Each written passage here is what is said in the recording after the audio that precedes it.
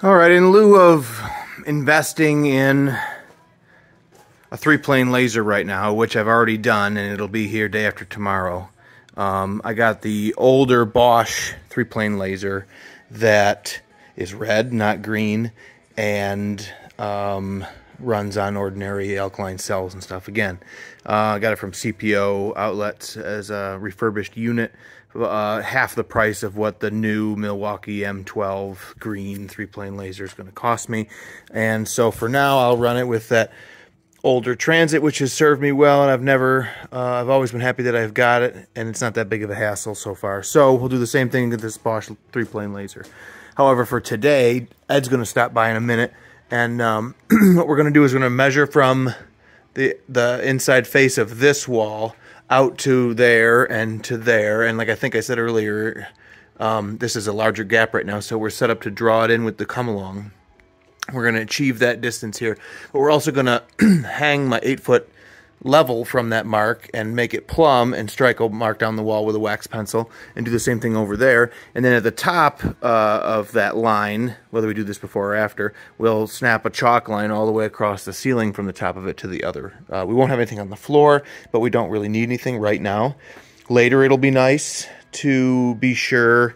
I mean, we can plumb these posts and stuff individually, but it just is really nice to look down everything with uh, the laser and just know that you've, or it, we can't really plot anything on the floor until we have a floor, which we can't have first because we're going to pour it around these bases of these posts and lock them in. So that's where the laser is nice because it'll give us a line and allow me to check these posts and make sure it's really tight uh, vertical perfect plane here that they're in before we commit to the floor pour. So that laser showing up Friday will help me to establish that, yeah, we got our work correct in here, but it'll also be around and I won't be in the awkward position that I was in yesterday where I reach for something that I think that I can get and I can't get it and I can't get anything else that'll do what I want. And so the old school method would have worked yesterday, but Ed had already taken off for the day. So it's just one of those things I can't really do without another person to the level of accuracy that I want that makes it worth doing. Um, so just one of those things. Unless you want me to spend half the day here getting that done, which isn't what we want to do. We want to do it in 20 minutes. So to start with, we're going to throw that wood and stuff outside. I went up and looked. There's a big, I mean, I'm not lost on my own job site, but it actually didn't realize that is so much further away than this right here, so I'm going to pitch everything out here. The problem then is that you can't go out to the road with any of it without hiking it over the pile of dirt that's there already. So these are little things that can just get you all jammed up. Uh, I could go over here and fire it out, but I've got the LVL here. I might end up doing that just to curb that issue there. But uh, there's the stuff that's cool, and then there's all this stuff that we've got to do anyway. So if you guys want to watch it, this is what it looks like.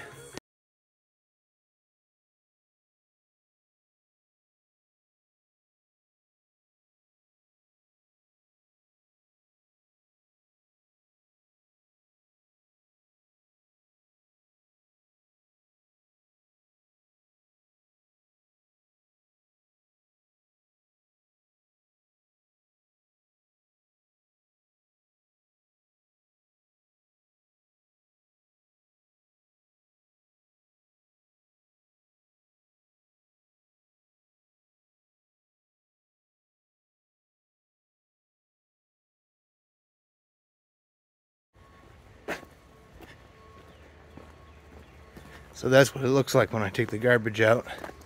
This bigger stuff, it can lay right there, I think, for now, until the skid steer comes back to the site and I'll roll right up on it, load it in the bucket that one last time, and dump it into the dump trailer.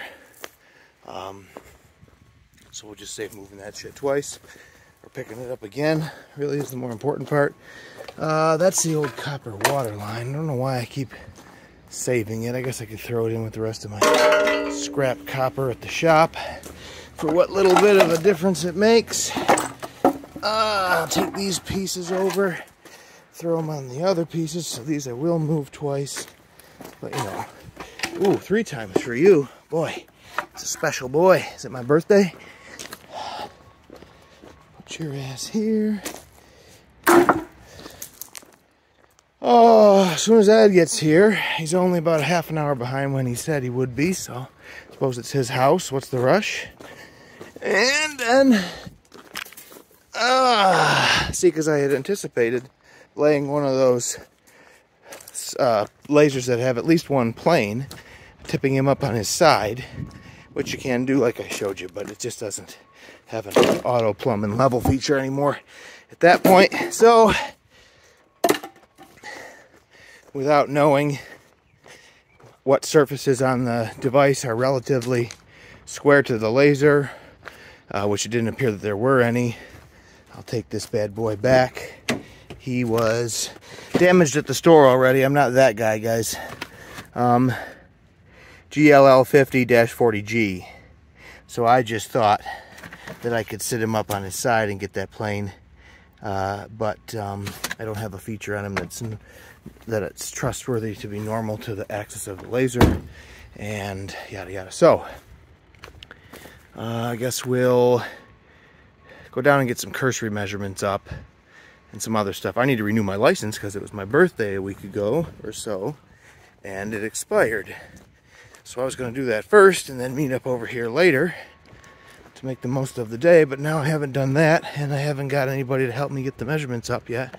This is my little, seems like a simple thing, but it's going to derail my whole day.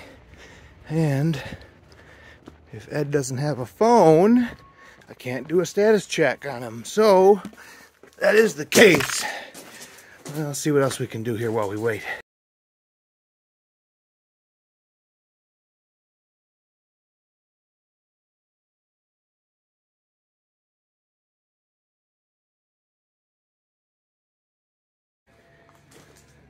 All right, I switched my um, uh, sling to a much shorter version around the beam, which allows me to get the center point, you know, up or down far easier. There's fewer, you know, times I have to wrap it. Would it be nice to have one that only goes around one time? Yeah, but it's not reality. So those are just Badland Harbor Freight brand tree slings for off-roading and stuff. I got them years ago.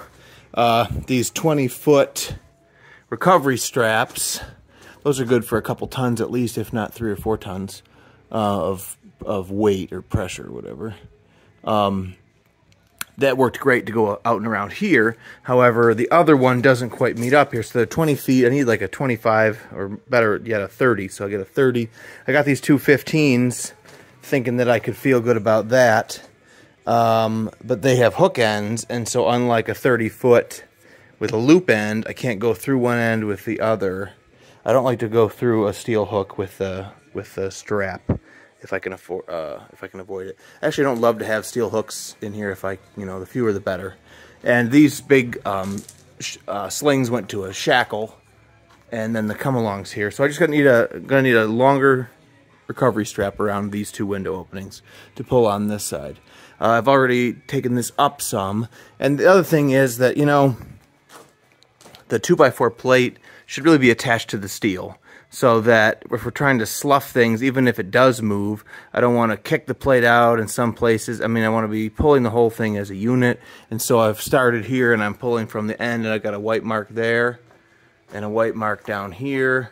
And so at every four feet, I'm going to make a white mark and I'm going to drill up through the steel with a cobalt steel drill bit um, in an effort to, I might even give it a little spritz of uh, Looby Dooby, as our friend Puddin from Puddin's Fab Shop would say. Um, I do have some somewhere here. Anyway, and so I'll get all those pre-drilled holes. Uh, where's my... Got a nice cobalt set from Milwaukee. I haven't even used for anything yet. I got them. I have a set for at the home shop, but uh, looks like a drill bit set. See that? Whoop-de-doo. Um, but this is my road set now. So that's nice. Anyway, so I'll set that up and drill at least this one whole side. It's going to be unhandy. There's no point in trying to wrap the measurement all the way around to use the ladder to do both um, holes. So I'll be doing it on either side of the web up through the top flange into the lumber. Um, it'll be unhandy to keep the ladder set up and try to go on both sides. So I'll just go down one side and back on the other side. And we'll use these um, inch and a half, which will stop short due to the thickness of the steel. Um, just to anchor, they're just construction screws. Um, but that way, this the wood plate will be attached to the to the steel I-beam. And then I'm also considering um, committing to these post locations, although uh, I wanted to do that later. Um, so I might at least just wrap the steel tabs around the, the uh, bottom flange of the I-beam for now. Um, just for, again, an abundance of safety. Uh, so that'll take me to the end of today. And then uh, pick up tomorrow and keep going here. I mean, my goal this week was to get this beam placed exactly, the poles, the posts, you know, just where we want them, the height of them adjusted so that it's level, and be able to basically lock it in. And so it's gonna, it's a short week to start with due to Memorial Day, and it's just been a couple half days so far doing other things around getting all the rigging stuff in here and set up. Uh, the laser debacle, you know, was part of that, but um, you know, pretty, we'll be able to get, you know, to a good point by the end of this week, which is great. And then we can pick up next week um, and take this down and use it over here to fix that ongoing uh, stairwell issue. I just have more issues than I have temporary lifting shores, so it's forced my hand in the order of operations here. So enough talk, let's do something.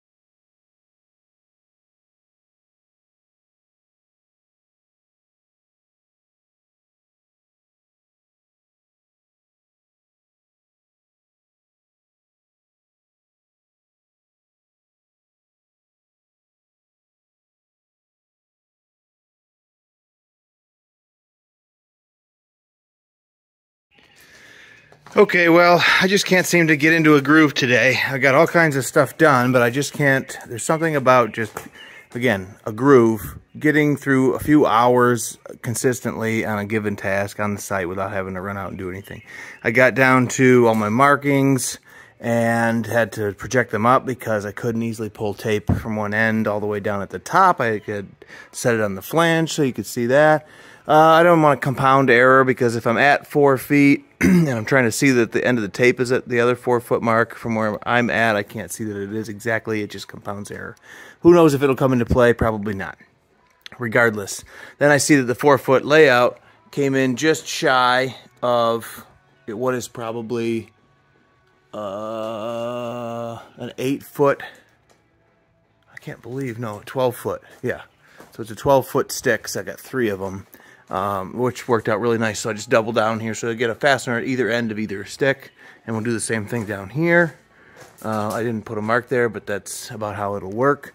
And so all three will be, and I'll get some on the ends, obviously, down there and down there. So all three pieces will be secured on their ends and have two pairs of uh, attachment in the middle of them somewhere. And that'll be wonderful. I got the bar oil for the chainsaw to use as cutting fluid, but I don't have a center punch. Uh, I have one that you could just push and, you know, it, will fire and that's all you got to do. I don't even have an old school hit me with a hammer one here, so I can't start my drill bits reliably without running them all over the place, which is stupid. So I think I'm about done for the day. I'll bring that tomorrow. I'll bring a longer um, strap. I got to talk to the... Uh, what that was. I got to talk to the architect about what we're trying to accomplish and the fact that our piers aren't at the locations that were called out for some reason by the drawing. And so, like, this is over here some, and so it's a greater distance, this and that. Um, in the drawing, he wanted it over here, four and a half feet from the wall. Uh, but our actual end of the house is there, and currently we're not even all the way onto the center of the pier here, but we're there. And so that's based on where Sean dug when he asked me for the location, which I gave him as four and a half feet, but he didn't like that, I remember. Um, and so it ended up just wherever it ended up. So there's some jazz we got to play here. House isn't going to fall down, but these are the little things that, you know, come up that you don't realize, oh, the other thing here is at the back of the house. Now, we wanted to play this inside the footprint of the house a little bit for ease of setting this back down, you know? So, like I said, we have, if anything here, the new plate is actually a little outside of the old plate. But we have so much thickness in the original siding and sheathing, or no, this is the original sheathing. Then there's a siding, then there's a, then there's a shake. It's supposed to be clapboard-esque, a shake, and then the vinyl. And so we've got a little bit of overhang overall, but I was content with that being basically in the thickness of the sheathing. And so someday you could come all the way back and take all of this off and resheath this house and you'd be in really good shape, which is fine. And I saw that overall we got to exactly where I wanted to be here. But then we get over to the garage and we've got some kind of discrepancy here, I noticed, with the distance behind there. And then I started looking underneath here and I start seeing that's all exposed. That's over an inch. That's close to an inch and a half of plate. And in here, our new plate is barely under, you know, our old plate is kicked off. Now I thought for a second that it might have been the garage has kicked out, but this is gonna be held fast by being a feature on this other wall. And it is that far off here. So we have over an inch of an actual discrepancy that's played out a little bit here because the building wall is a little out of plumb. But um, I don't know what we're going to do about this. They're not going to want to hear that I'm not happy about it. So, and again here, this seems to be wide, but then grows to, or tapers to nothing. So maybe in coming over here and in going over that way some, because it's far less pronounced here, and it's definitely out of plumb there to look at it. So it's going to need a little bit of, but the nice thing is nothing is stacked on here. It's just a simple roof. Couldn't be any lighter. And so once we have a floor in here, I can lift with a temporary beam in my shores and take some weight off this outside corner. And we can do what we'll see if, you know, making it all plumb, if we can make improvements on the way that it has landed on this wall. Um, and then worst case scenario, I have to get in touch with the concrete folks and say, you know, what are we going to do about this? So I don't know. All in all, 98% legit. It's just such a big project that that 1 or 2% of things going a bit awry um, plays out in kind of a big, in bigger ways. So, just want to be honest, forthcoming about some of the things that have gone right, some of the things that have gone wrong. Still have that extra layer of three quarters stuck in there. Um, I'm just stuck on this stairwell not being near anywhere near appropriately constructed.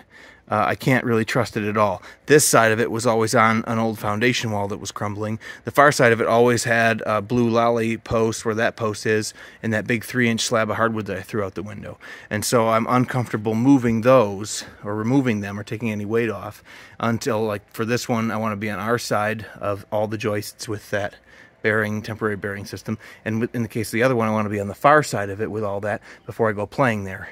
And so to get that back, we've got to do what we're doing now if I haven't made that clear.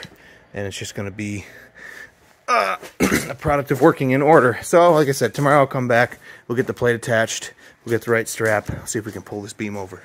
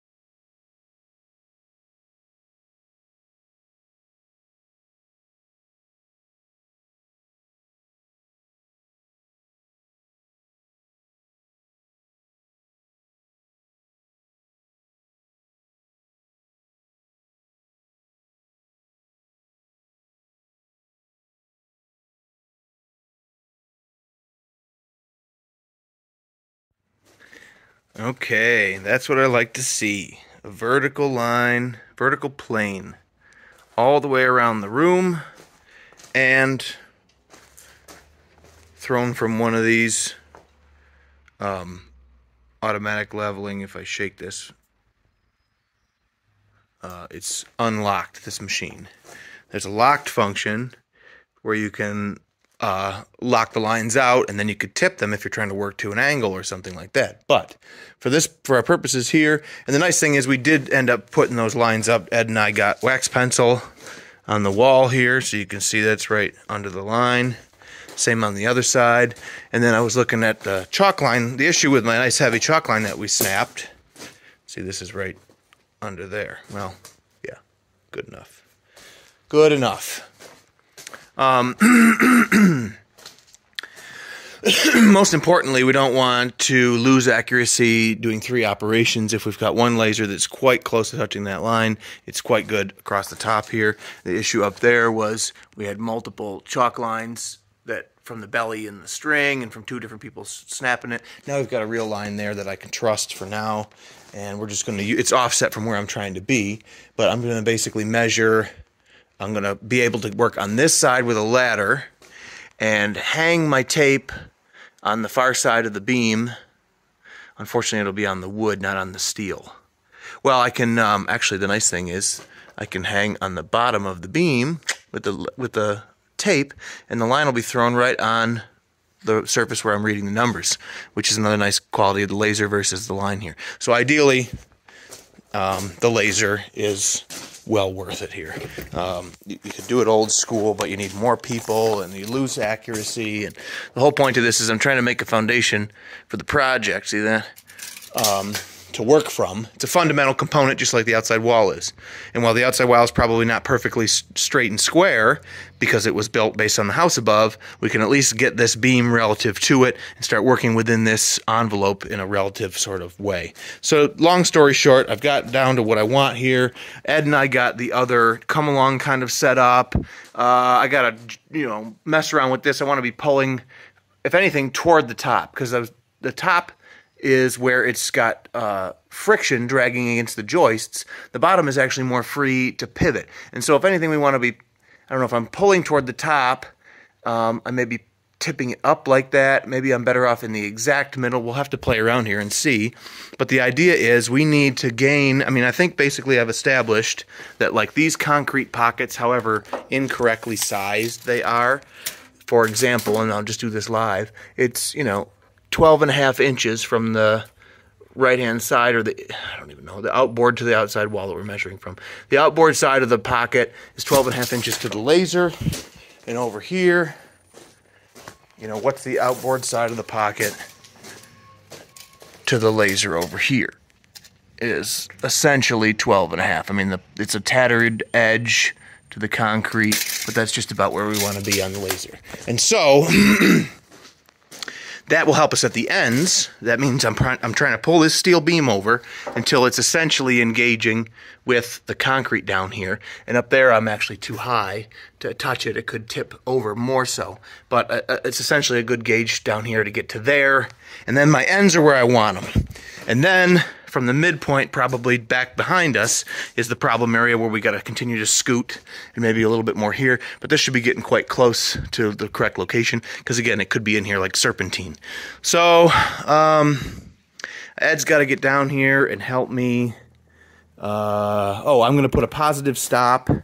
See, I wanted something basically where that plate is. Uh, to, if I'm putting tension, putting tension, putting tension, all of a sudden, zoop, this thing slides over suddenly rather than smoothly walking over. I don't want it to just, I certainly don't want it to go too far and, bec and become, I mean, the further it goes, the looser it gets and the easier it is to come out.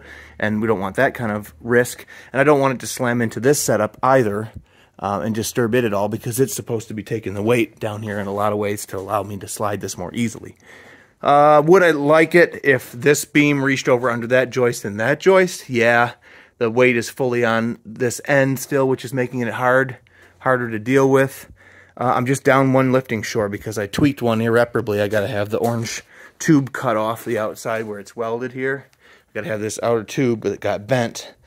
uh, replaced on one of my shores because I think the threaded column is probably okay. I'd like to think it's okay. If not, I'm in for a whole new shore. But so I'll probably do the as much as grinding and pulling that tube down and trying to get a sense of the straightness of the threaded rod.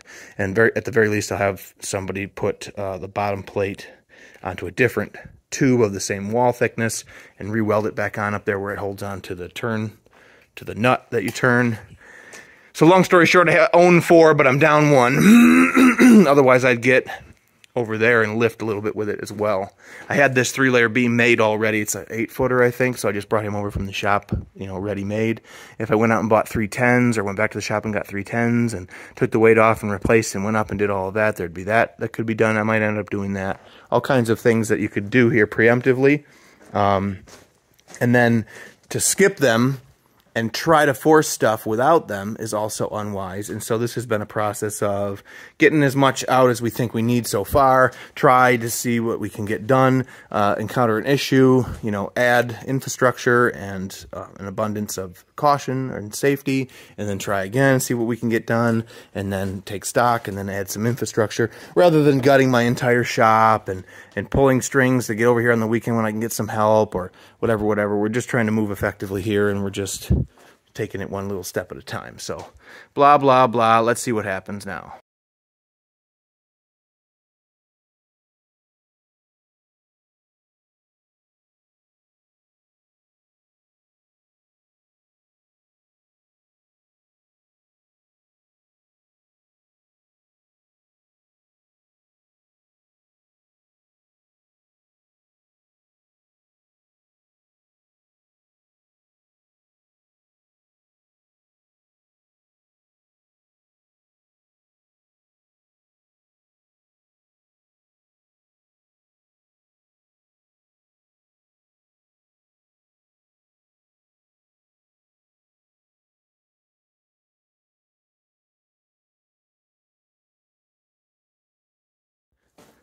All right. I think we're looking damn good here. And that's the thing about this process is like between getting this set up, getting those set up, getting the right length and combination of lengths to leave myself enough come along to actually put pressure on these.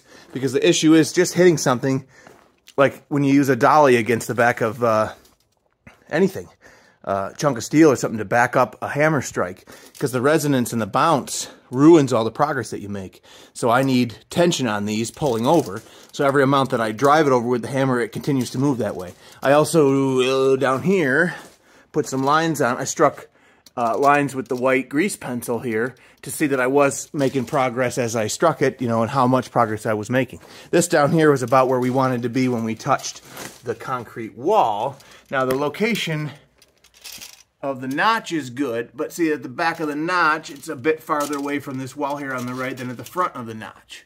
So while we're touching at the back, we're sitting open by a quarter of an inch, and that quarter of an inch is about what we've got for tolerance overall here now. And essentially for construction this big, in my world, uh, a quarter of an inch tolerance is what you're talking about having. So we're at, you know, 12 and an eighth at that post location.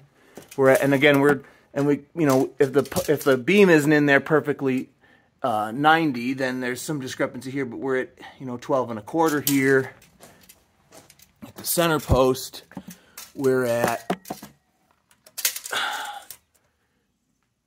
uh, 12 and a quarter again, essentially, as far as all the different tolerances that we're using here. The thickness of this line, uh, my hand being in the air at an angle with this tape. There's all kinds of like machinists would realize or recognize. You know, this is a heavy cord. This is 5 16ths. Mm, no, but still. A little bit more. And we get over here and we're at 12 and so it's all within that we're within that quarter of an inch and so I'm happy with that given the investment of time and money that's happened here kind of already so um, this thing is sweet. Uh, it comes with this magnet, and it comes with this uh, base thing that they call the whatever, BM1. It's the first ball movement um, that you can dial up and down. It sits on a spinny dinny doodah. Um, I'm going to turn him off to save battery. It does still take four AA cells, which was the bummer. this is the tripod from my Transit. So the Bosch heavy, like not all thread, but it's like my thumb or maybe like my little finger, I guess. Um, as far as attachment to this thing, it does have the quarter the quarter 20 typical camera thread, but Bosch has got this heavier, where's the bottom of the, I don't want to take it off of it right now, but the bottom of the Transit has got that big, big boy hole. So it takes that and or a regular tripod, and it's got this sweet little, oh my God, oh my God, keep falling over. Um, it's refurbished, but brand new literature, brand new bag, brand new bracketry, brand new case, uh, and the unit itself looks brand new. And for 250 bucks shipped to me uh, next day air even uh, or maybe it was two day anyway expedited shipping. That's a damn good deal. The current one is just a green laser. It might have more distance due to that or something but it's already um, practically 500 bucks. And uh, and obviously the Milwaukee one that runs on the M12 battery is like 500 bucks I could get it for like maybe 450 but then you got to talk about how much shipping's going to cost and whatever else. I'd really like those. However, I'll wait. Uh, this stuff will always be useful. That Transit's already over 10 years old. Uh, the new one, the new version of it probably does very similar, but it's maybe green or something laser. Uh, it's $700 right now at Lowe's. So I think I got that for 350 and this for 250. So, so they've really, that thing has worked for me. This is going to work for me for a long time. Long story short, would be nice to have Milwaukee, not as a brand whore. I like the Bosch stuff. Um, I just have those rechargeable batteries lying around. Nothing worse than coming to use that transit and I need D-cell batteries. Or this thing, I'll need double A. So I'll, I'll, put up with it for a few years. And uh, maybe when Milwaukee has a nice transit as well that runs on um, their rechargeable batteries, we'll get into the transit and the three-plane laser or something. Or maybe I'll hit the lottery and I won't need to worry about it. Anyway, our beam is pretty damn straight. Pretty damn straight. And so now you notice I ran a couple screws in, I toed up through the plate, which has been attached now. I got that yesterday. I can't remember if I just picked up and went. So yeah, so since I was blathering before, I did uh, right angle drill, cobalt drill bit, um, drilling operation every four feet on both sides of the flange along the top and ran an inch and a half um, construction screws into that plate which held it on there for the sliding purposes. It'll hold it on there for now, from unless somebody points out that it's not fastened well enough that I know of. It should be fine. Um, I'll toe probably at something like the same frequency. I'll put one at both ends, and between every set of these screws on the beam, I'll pick a joist and I'll toe the plate into that. And so then, really, that would mean that we could take these posts away, and while the house would collapse in a theoretical experiment, in a mind, in a thought experiment, the beam would hang on the floor joists up there due to this attachment that I'm talking about. Um, and so it's really well attached there. And then we can talk about how to take this down and use it to take to at least one of these to take some weight off next to each of these and put them where they've got to be. I think I might have mentioned this guy is supposed to be over here, which there really isn't a pier there anymore. So I got the architect and the concrete people coming to look at that. Um, so I will endeavor to place this one correctly and to replace this temporary shore with that one which is going to, it's this one, because that one has the U shape for this location. This one goes over behind me, so that means that these two and that beam, when Ed gets here, have got to be reset here to take the load out of the outside wall of the house to the best of our ability while staying out of our work zone. And then I can tentatively take him down and make sure that his cope is right there and start opening this situation up, as well as take him over there and take my shore up to the elevation that it's supposed to be so that this top surface of this plate is level with the concrete over here and install him as well as locate him correctly on this pier and, and according to the drawing. And then I can both bend his tabs around and drill and bolts, you know, nuts and bolts and attach him up there. Make sure that he's plumb. And then I'll take this away and I'll have one free temporary shore. And I'll have this shore set up over here. And I can open this up and we'll get that thing turned into some layers and apply it to this joist. So we've got a real heavy beam underneath the old outside wall of the house going from the sill plate to this um, this new beam over here and the post under that will be that one and at that point I guess I'll be stuck because to get this loop out of over here I want to have this post permanently installed, and this post needs to be that post, and to take that post away to put here, this post will be down there where it goes, and so that temporary shore is going to have to be subbed in to this position in the interim. So I'll get my U-shaped head, which I brought here. Where are they? I've got a U-head on one of these shores. Did I bring it? Those are flat. Oh, they're on here. So I'll put a U-shaped head on my temporary shore and sneak it in next to this one enough to get this post out and put around this group of three layers. And then I can take the temporary bearing loop down and just move it over here to supplement that because while it's doing something, it's not as nice as being under like six or eight of these well, not eight, but six or seven of these joists or whatever from here over, actually from that one over, because these two here at that point, once I'm underneath where this stuff is at, which will be out of the way because it'll be manufactured into this here, then I can work on these joists here and packing those out. I may even actually, no, I got the LVL in here because it was called for in the drawing and it's the exterior of the house. This can probably just live with a couple more layers of 2x8, which I don't think we have 16s, we got 12s here. And so if we're getting 16s, we better get them ordered because the truck will probably still be down. And if we're going to order them, we're going to get enough to sister all these joists through the whole house because they've always been spongy and bouncy. And with getting this electrical down and having all the room down here, it makes sense that, and we'll take the bridging out and we'll get everything sistered. And at that point, we'll have the opening for the stairwell and the floor system constructed uh, in such a way that it would be structurally correct. It'd be better to do this distance with 2 by 10s and stuff if you're building this house from scratch, or to move this beam over um, to a more central location where the spans are equal. But we couldn't do that, see, because we run out of joists. We could only really come over, and I already went six inches, but we could have probably only done another six before we would have been right out from underneath the joist over on this side of the house. So it isn't as though we would build it new when we're done down here, but it'll have the structural capacity that's appropriate um, of a new build in one way or another. And at that point, we can extend that sewer down and catch the equipment like toilets and sinks and things down here that we've been planning out. We're going to, to make final decisions on those and get that sewer routed all around out and over to there. And maybe by then they'll have an excavator that I can rent and get dug out to the street to repair that sewer line out to the street. And then with that, the water will be rebuilt into here. And then I could probably quickly get to the hot water tank, as well as have the gas meter installed and get the gas to the hot water tank. Although I own an electric hot water tank, and I may bring it over here and, and hook that up, since that would get them in here more quickly. They could even keep it or something, I don't know.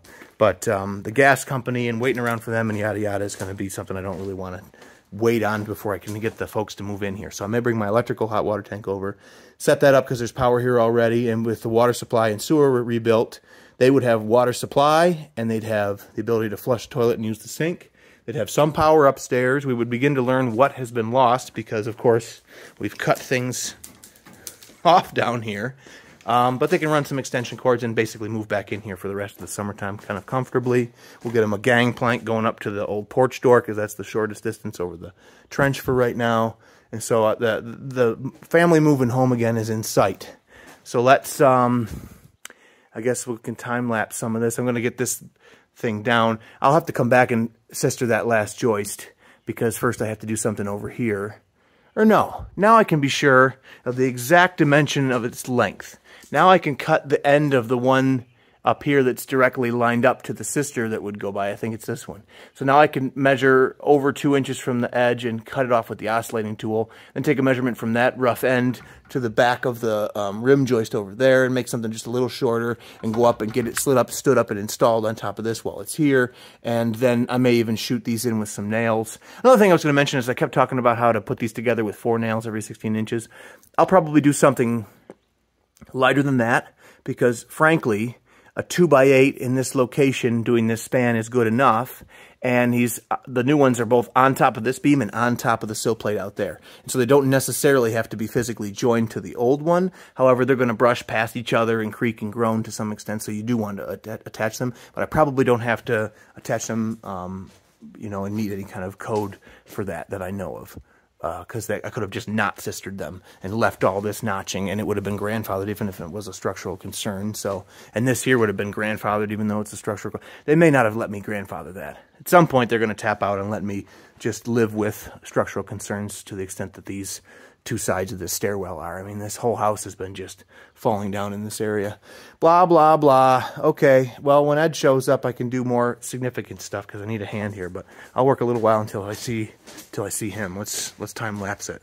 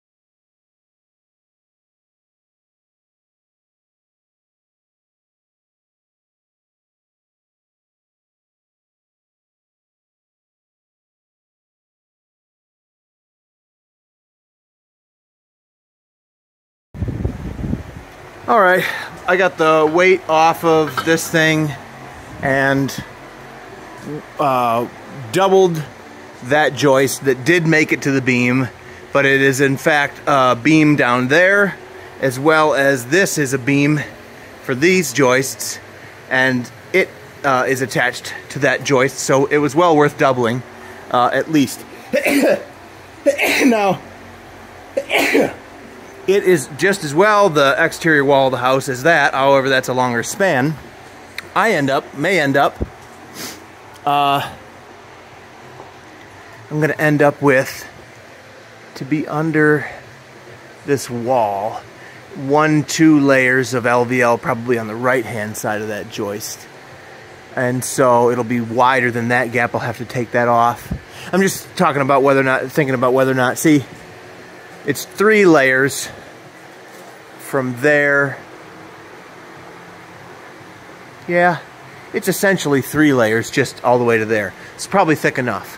But down here, it's, I believe, I'm going to add both LVL layers to this because I want to be more underneath the um, exterior wall of the house, which you can see the sheathing is there. And so the framing of it is here. And so I won't be add. I was thinking maybe I'd put one on either side of this joist, but they're going to both go on this side. And so then we'll have a nice heavy beam with a post under it and it trussed out and everything appropriately over here. Three layers thick solid lumber. I could add a layer if the architect really doesn't like it, no problem in the future.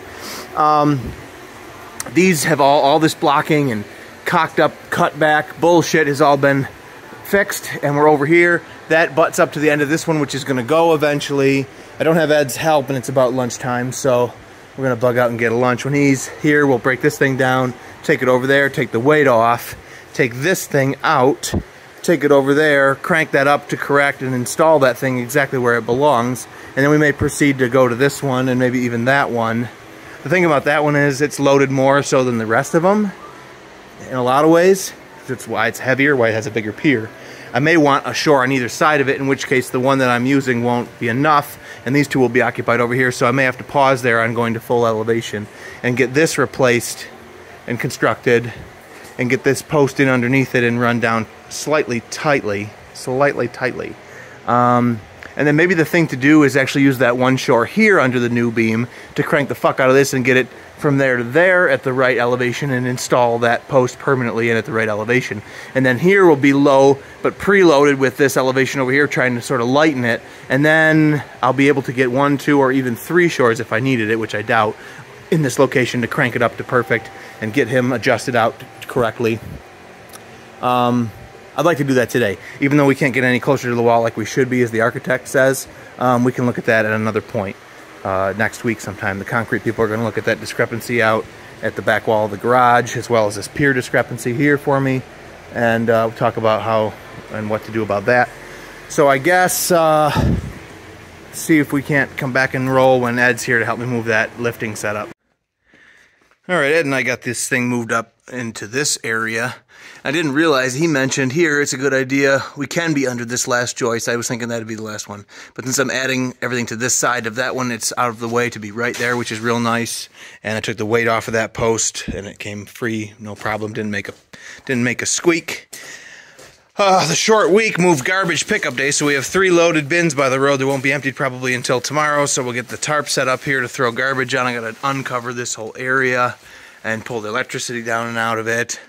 Measure up, cut that, joist tip back, measure up and add a couple layers, and then clean off and I guess get that other shore. Uh, I can't get a U-head on it because they're being used here, I guess. Shit balls. To run back and get a U-head for that other shore and put him in place of this one and then put him over there. I'd like to be there by the end of today, so let's see if we can get that much done.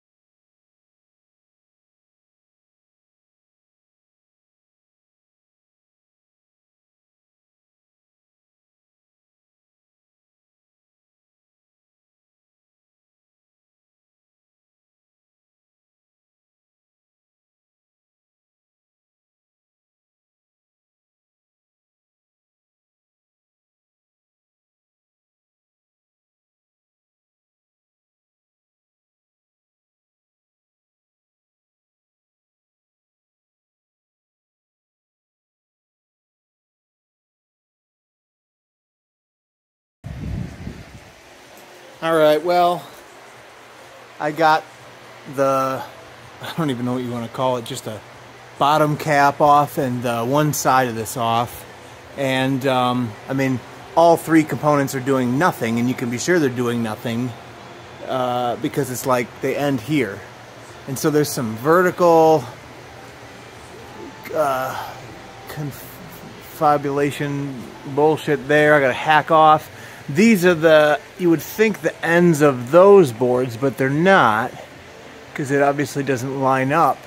So I think those will probably come down when this stuff comes down. Um, which will mean that we'll need something that thick. I almost don't want them to come down with this because uh, I want to have everything packed up tightly. And so edgeways 2x8 on this is still underneath the subfloor until this point where there's nothing. But then once again, the same sort of thickness. So I guess to start with, I'm going to cut this crap off flush. And then I'm going to run out and down this crack between the old sheathing boards and this joist. And that's where you're going to have some added strength in these two layers, I guess, on that joist. But the joist is on the end of this beam now. I might just tack it. I mean, it's an abundance of safety. It's probably not going to slide. There's no lateral forces here. Um, but it won't hurt to put a pin through and into that last joist since it's just right at the flush end of this temporary beam. And I'll cut right on by with the Sawzall all the way down. And then if it's still stuck, I'll know it. I, will probably try and open a gap and slice along under those boards and leave them there. Because if I can get two layers onto this side of that old joist back here of LVL, put it all together, and then those are overhanging, either I'll just cut the nails off and leave the tattered edges of them, because this is a cost mitigation thing. Uh, I'm not going to go so far as to tidy this all up. It'll be all whatever black mold splatter and holes cut in the drywall and all that when we're calling this project done, because this is a a budget project. But um, if I can't get that done, I'll have to find something. I'll get a strip of three quarter inch plywood and set it up in there to the extent that I need it or whatever. Uh, I'll give you a different angle. Let's see. How does this look?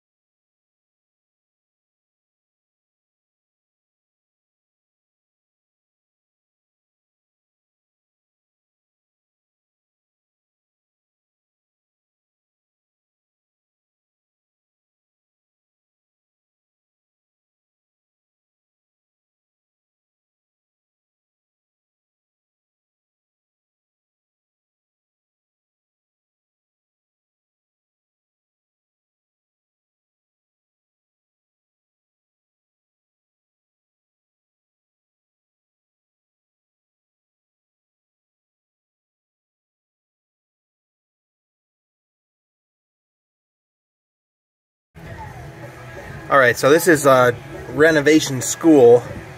Classes in session. Oh, what is that? That's the end of an electrical wire. Okay. Um, I got all that stuff ripped down. At some point, the battery died, so I got ye old supplemental power unit uh, connected up now. And weirdly, uh, I want to say, yeah, the bottom plate of that shit went right over in here as sole plate. Oh, because it was the sole plate for the outside of the house. So the sole plate here turned, came along the outside of the house. House. The joist I took down that came over and was stopped short was the original rim joist. And then this one right here was probably the original that was on a layout, a 16 inch center layout or whatever. He stopped here. Uh, or at least they just closed in the top area of the wall. So anyway, it went right out over into here, so I had to dig it all out of there. And then I need a piece of sill plate.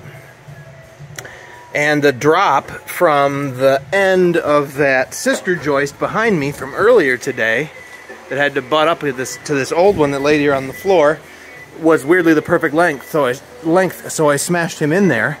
But this where's my that's a big step. Here we go. This lumber is from a time, it's not rough sawn, or it would be a true two inches thick. It's inch and three quarters.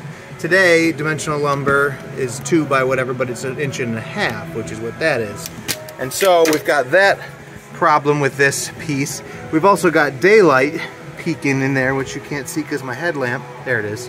Uh, but it's because of that extra three quarter inch board down there that's stuck underneath Where's my fucking hand? It's a board. It's hot and I'm covered in filth and I'm irritated at every step of the way. Uh, there's some fucking bullshit. Um, which is why this is renovation school. See, because nothing's ever easy.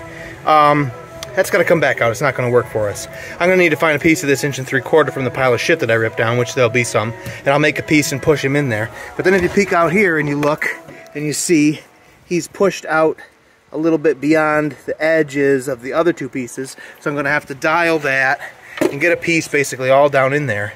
And then you notice the way we build now. The rim joist turns and the rim joist goes, and then you have subfloor boards on everything. And then you put your sole plate to your wall, which is this is the 2x4 sole plate, and there's a stud on it. This is just superfluous bullshit, but this is the this is the actual location of the wall plate for the living room and this other room, or something like that. For some reason, oh, there's a step up. Ugh. This is all within the landing step that's higher between that room and this room at the end of the stairs upstairs, which you can't do nowadays, I don't think. Yeah, you can't do that.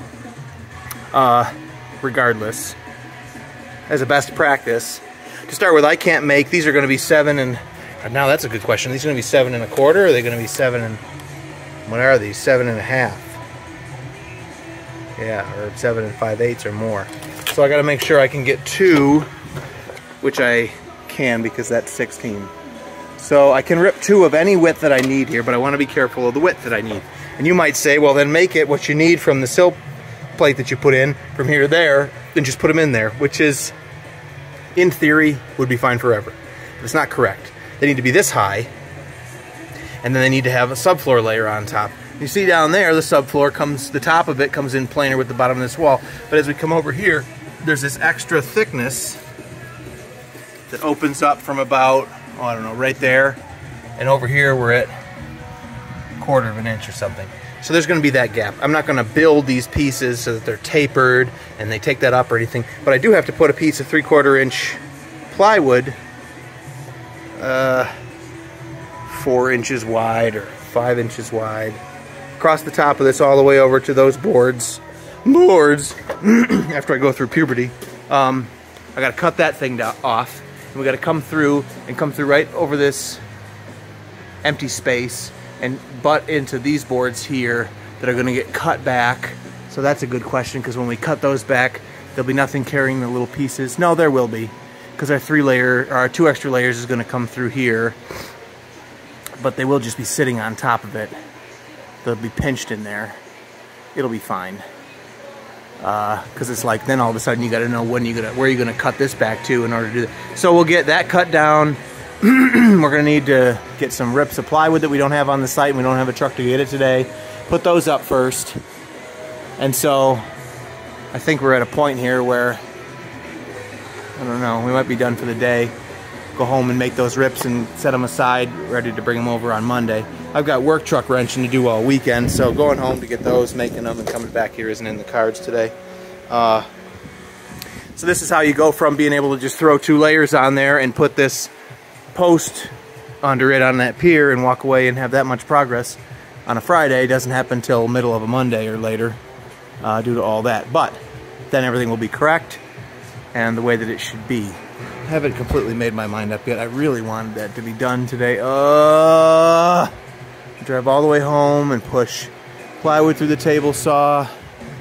Actually, I might have some one foot wide strips or something. Maybe I'll go see if I can find some thin rips and throw those on the car and bring them over, bring them down to the final ripping here on the horses. yeah. Okay, so the battery died on me somewhere there. And and so I wanted to make some visual progress today as a Friday. Always feels good to leave off on something with something handled. So uh, this was your old sill plate, and this was the old outside corner of the house. And so it was a 50-50 chance here that this one passed and the and the other one butted into it. But in fact, this uh, sill plate passed and this sill plate butted into it. So that's what I had to dig out from the bottom here. I didn't realize it was the sill plate because it was cut short over there. And then the old rim joist and the old, I don't know what they did. There was like on the, it may have been on the same floor layout, but more likely they just wanted something on the inside face also, which you really don't want uh, because you want to be able to insulate that. If you end up putting a joist on the outside as a rim and on the inside of the sill plate when you're building a floor and then you cover it with subfloor, you never get into that cavity with insulation. So, if anything, you want to leave it open. Um, and if it does work out to be right on layout where it's closed off somehow, you want to put an insulation batt on uh, while you're there. So, regardless, took all that stuff off, and now the way that this is built, see, this is your uh, plate for your wall, and there's a stud, and so that's built onto the subfloor.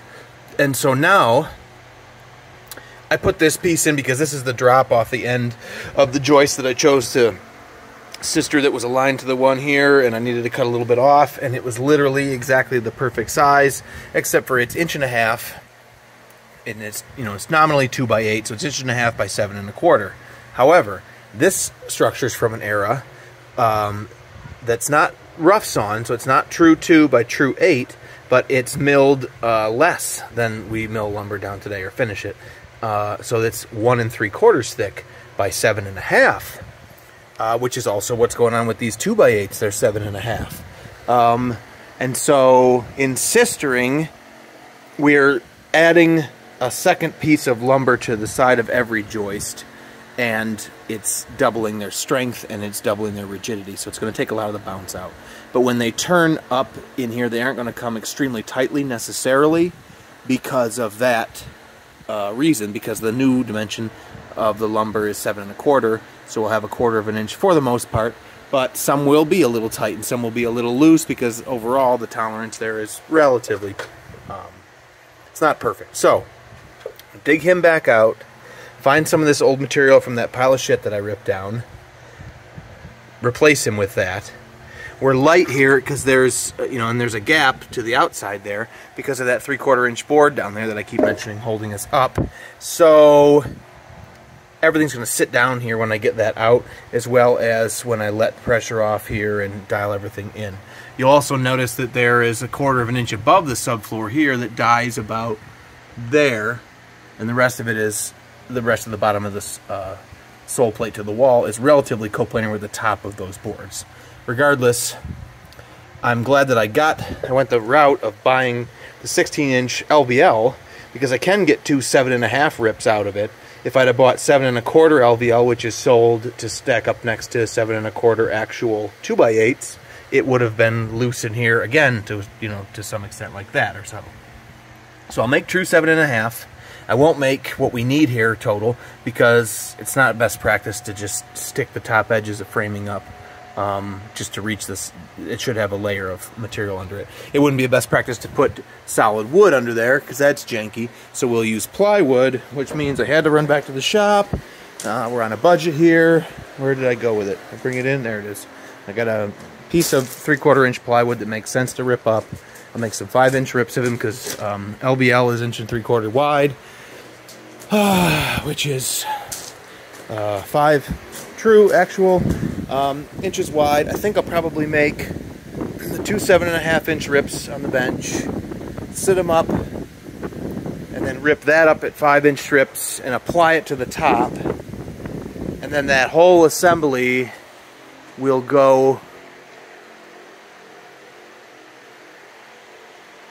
up in there somehow, which is going to be tough because I'm probably gonna have to bust this stuff out. Already I did some of this, but I gotta, I gotta, uh, there's already some wood there. This just keeps, just, you realize this is all like finished with hardboard or plaster because it was cold air return or heat.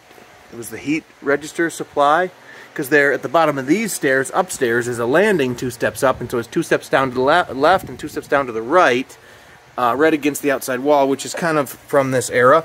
But I don't even think you can get away with building a house like that anymore. And so like this like hood in here this all this filth look at that. Oh yeah.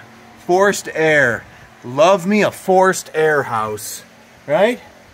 And then the duct cleaning company shows you on the commercial going straight down a beautiful current modern day duct that's a little dirty or you know even if it's filthy they're just going to zip right down it with their duct cleaning equipment and your all your ducts will be cleaned out. What do we do in this house what do we do up in here where this is all closed in and custom? And you know now I'm in here and how, how are we getting that cleaned out? Were we ever gonna? Know we weren't. So anyway the heat comes out at the under uh, in the riser face of the lowest step on both sides. I expect at least on this side. Anyway that's what it is there. So we got all this hard plaster shit to bust out of here because we're to be overly long here.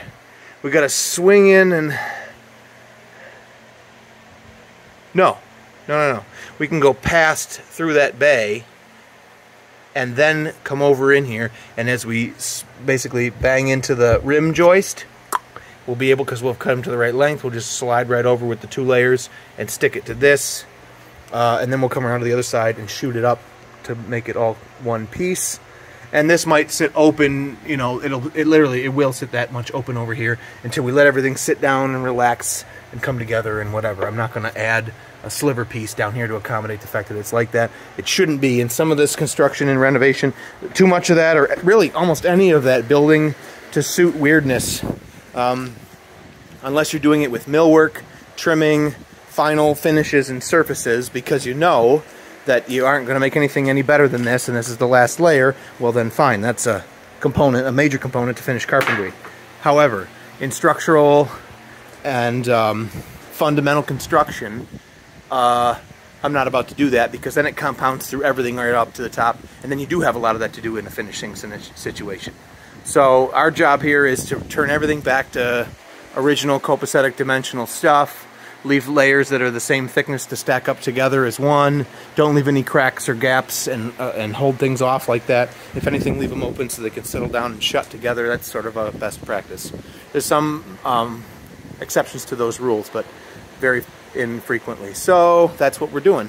Let me um, dig that scrap out, make a piece for there, rip up this LVL, rip up that plywood, stick it on top, go up and uh, cut that thing short down to what we need, go and get a total length measurement, cut the construction that we built on the bench down to that total length, put it up in there beyond what we need, and then come back this way on the ladder until it'll sit back in there, and then clamp it there, and then nail it together, and then probably piece out because I don't want to take this down um, even though I went home and got that, I didn't get a third U-head, so I haven't got one to throw on that, and that's still being used there without that. So we're going to stop where I just indicated today, I think, and call it the weekend, which is fine, which is in, in um, it's it'll be essentially where I want it to be.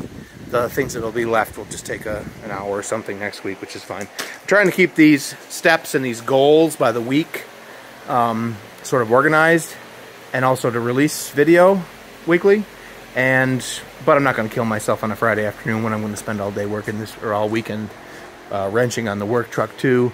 This will just be what it is. All right, you guys, you have a problem with that? You can. Uh, I'll see you in court.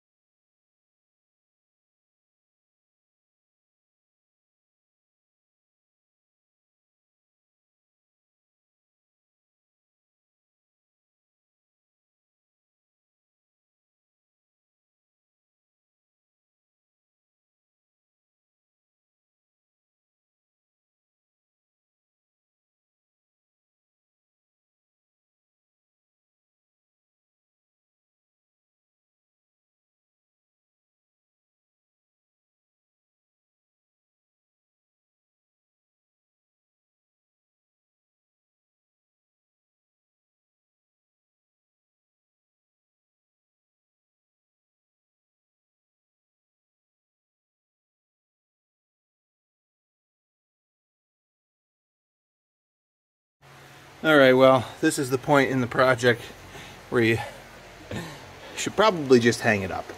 It's not wildly unsafe, it's just that point where I'm... It's nearly 7. I've been at it all day, it's hot, it's high 80s. Uh, I'm not taking this back down, but I finished carpentry myself. Uh, but it's just a it's a hair too long. I'm gonna take a full quarter inch off just because I've learned my lesson. Not so far as never running into this problem initially, but the first amount that I take off in the past wouldn't be enough, and the second and the third back in the day it'd take 20 amounts, 20 uh, CHs. I don't know why I shoot for such a perfect fit. Um, Anyway, I'll take a quarter of an inch off this guy right here in the air. Set him down on top of the eight foot ladder. I'm standing on the six foot ladder. Uh, try and make it so you guys. Ooh, can I turn the camera around? Is that something that's possible for? I feel like. Hang on. Look at that. Uh, that's helpful. So let's lay this out and buzz it off quick. I want to. The next thing is going to be trying to slam it, get it to turn a lot of times on such a bouncy stick at such a different, you know, wildly separate ends. I might get this to go and then go down there and beat on it and it undoes this and I come back down here and it undoes that. Sometimes you can chase your tail. Let's hope that doesn't happen.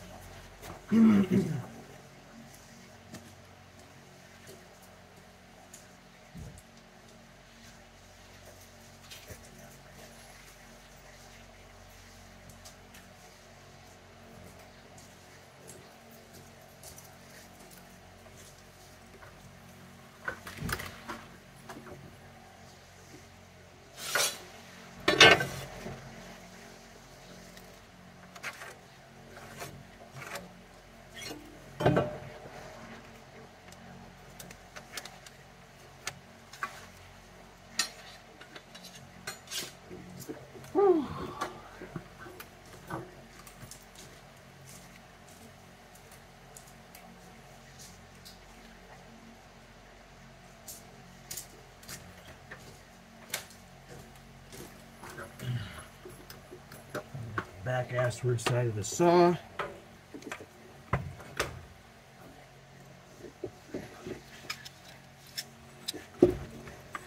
Can't do the old cut to me. The whole point of this, whatever.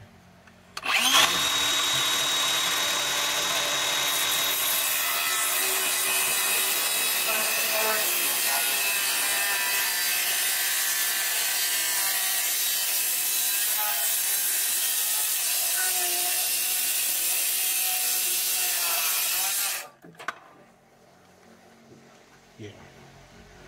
Whoa, that's not secure. Don't hang your weight on it. Um, that's irritating. Really want to cut with most of the shoe on.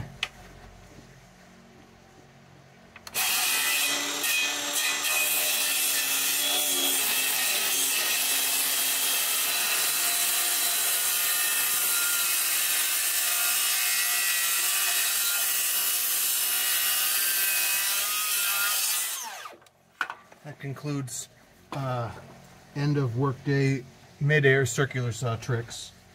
Um, let me get the sawzall and finish that.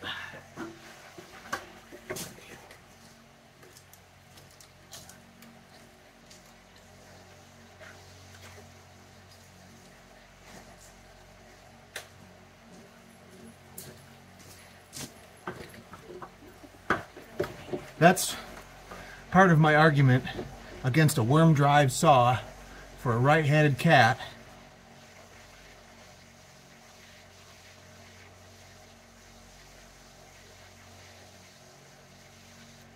That's the one situation where it would be handy because I could have pushed through with my right hand from my side and the majority of the shoe would have been on here for registration to keep this cut at 90 degrees to this.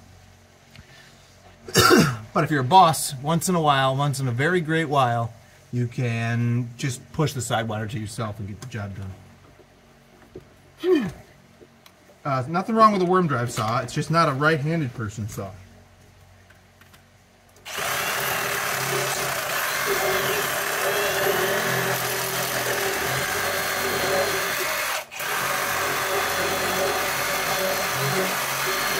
My ladder setup is wrong because I am right-handed. And while I can run the Sawzall on the left-hand side, it's not as nice as running it on the right side.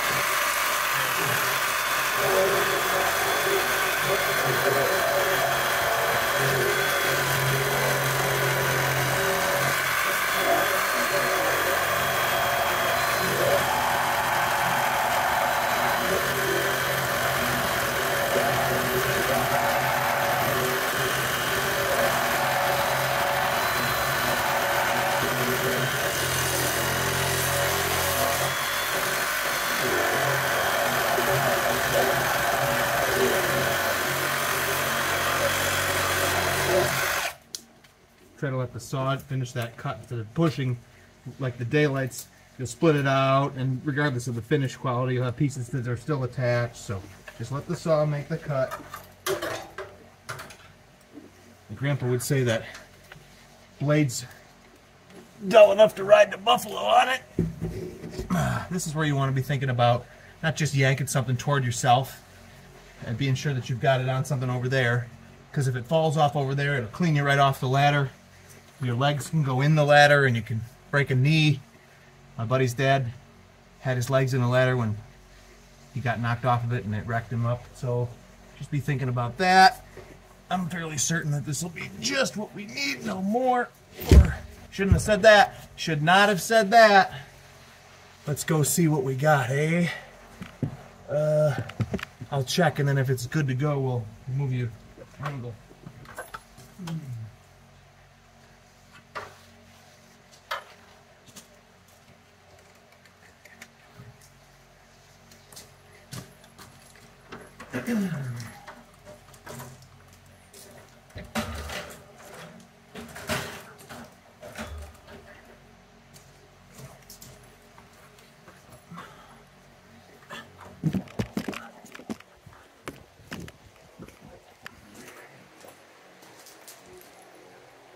So, uh, gotta turn you around. Um, does it miss that end over there? Also, we gotta come back out and open the angle a little bit. Hang on, hang on. A kingdom for a cameraman.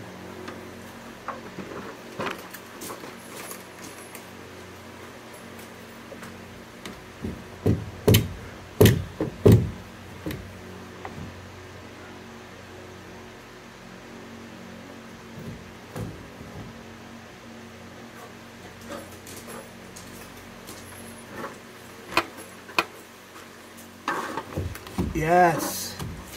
Success? No. Can we just hit it? Can it be struck into submission? Oh, come on, please. Oh, it's right there. It's going. You're going. On.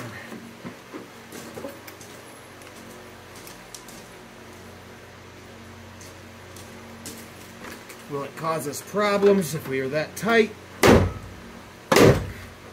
There we go.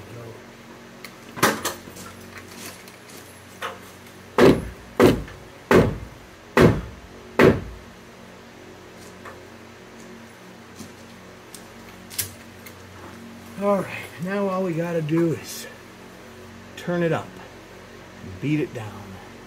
And I just don't have, there's no way. I'm gonna need assistance. I'm gonna need assistance.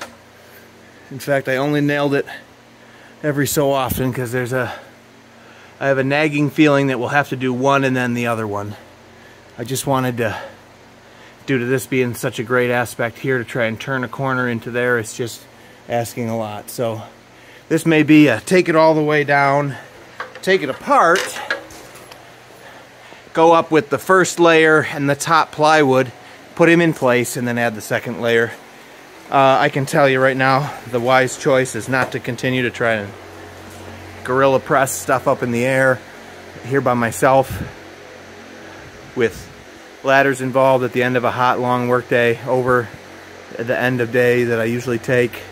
It's a recipe for disaster for me and my body, which has to be in tip-top shape to complete this and many other tasks. So, we're gonna call it quits there. Uh,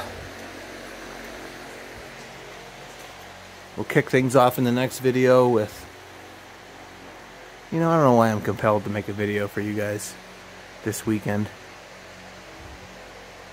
Let's just hold off. We'll get that up and we'll get this other side of the uh, stairwell handled and then we'll put a video up, okay? How about that? All right, Monday morning. This is why I don't rush and little red flags go off in my head when I start feeling compelled to make visual progress. Um, sometimes I have the willpower to avoid it, and sometimes I succumb. So last week, Friday, I succumbed. Is that the word? I succumbed. Uh, I just wanted to see this up there. And I don't know why I had it in my head that uh, together with two layers with that uh, strip on top that would make it a tight fit to this area that I could get it to roll up because of course the wider it gets the um, the longer the hypotenuse between the two outside corners of it which makes rolling things into position that are more square in aspect ratio instead of tall and thin a big pain in the ass if you understand what I'm talking about also we don't need that extra that three quarter inch plywood layer from here all the way to that end and so basically I need basically I need to get the dimension from here to there to that board. And then shy of that will all be all the uh, three quarter inch plywood that's on the bottom here that needs to be on there. So I'll cut him off. In fact, it may work out to that um, short piece that went on at the end.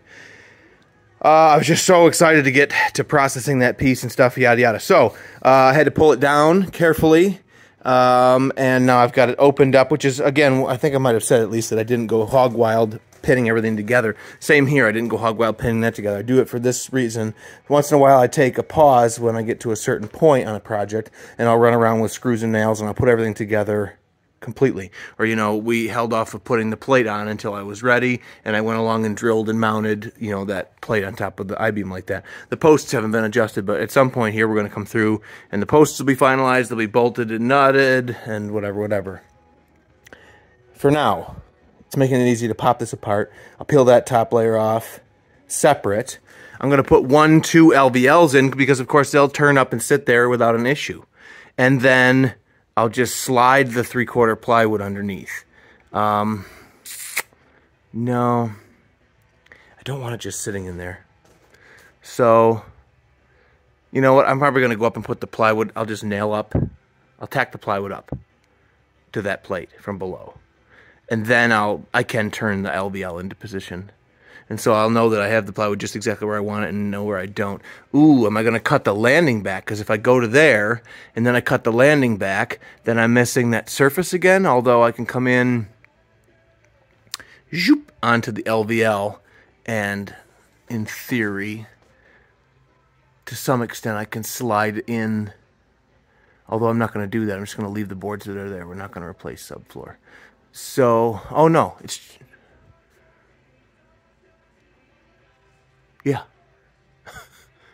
yeah, Chaz. So just relax. So just go to there, and then there'll be subfloor completely on the beams. And if anything gets cut back, it'll be cut back at this edge. Okay, see, don't get ahead of myself. I'm gonna get this stupid. I think it's thermostat. Ah, I shouldn't cut. I was gonna keep that. That's thermostat, and I don't want to have to refish that. That's a day spent farting around if I'm not careful.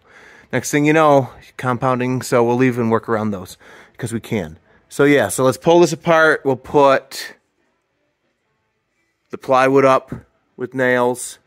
We'll slide one LVL in and then the other LVL in. Far safer taking one layer, although I've done it now up and down the ladder both ways. But um, far safer.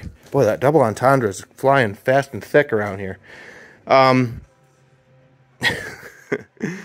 anyway, you heard me. I'll put the single layers of LVL. It'll be easier and um, safer to carry less weight up and overhead and try to put it up. Let's set up the camera and watch watch that happen.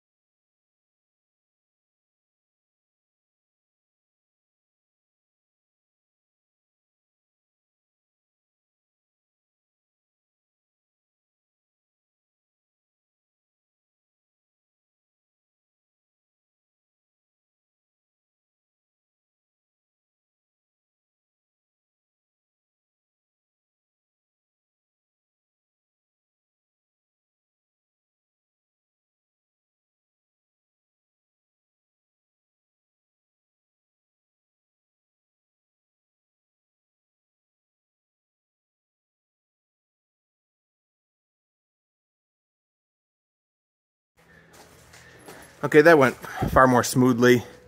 I don't know what I was thinking. Just trying to take a big bite at the end of the day, like I say last week, to see something happen. That's where you can make errors that are a problem for safety or, uh, you know, all different types of things. So my, just like I said, a little red flag was going off in my head, but uh, I was hoping to get something to cap this video up and get something to cap up the week that I kind of, it was a short week spun my wheels getting everything together to pull the beam safely and um, what else? Oh waiting on the laser to make sure. It's just so easy to measure too. Putting a line on the ceiling and stuff. I think I said we snapped it and we ended up with two lines and I mean if it's a half an inch between them then what's the point of even trying to do anything here if our tolerance is going to be half an inch? So I don't know who's messaging me but so now I think that I can set up the laser and crank up this temporary shore until it puts the top surface of the plate at the same elevation that the top surface of the plate is. Not only this is a bit I think this needs a little bit more height actually. I think we're going to end up on this footer and picking that up and sliding another 3 eighths or half of an inch in there. So it won't be based on the anywhere else on the beam. I'm going to use the um, top of the old plate. I'll just get an idea of where it is around the, perimeter of this house. And we'll start shooting for that here. And then we can, because I left it to the side here, we can place this uh, actual post. According to the drawing, it should be, where here? According to the drawing, we're looking for, here's the location of it here. So we're looking for 8 foot 3 inches to there, which puts us where here? Pull out my tape. Eight foot three is 99. Which is, yeah, there-ish versus there. So if anything, we're a little to the one side of the pier. I don't know what was so hard about putting these piers in the right spot here. Really struggled with that. Um, I didn't feel like climbing in and checking all of that stuff because it's like if these folks do what they do all the time, then they know just exactly how to follow a drawing that they've had since the beginning. So we've got a few discrepancies with concrete right now that I'm a little frustrated, but I think that that'll be okay with that one. Over there, we're going to have to maybe do something. So uh, let's do that much anyway.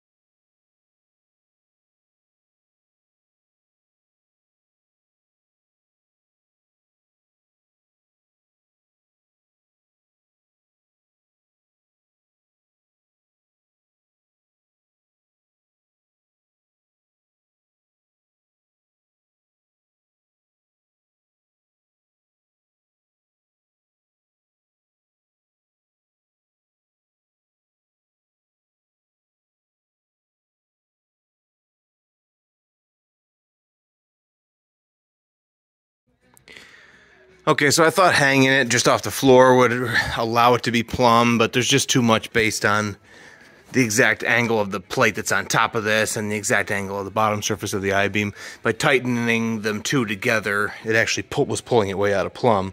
So at this point, I've plumbed it for the most part very close. And so then I traced the plate on the floor, which is hard to see with a white uh, grease pencil, and so now, if you're just close to that location while tightening, you're not losing the plumbness here. Um, epic plumbness. I'm going to keep it clamped up there. Essentially what I'm getting at is I want to take the weight right off of this because I'd feel better about a U-head on top.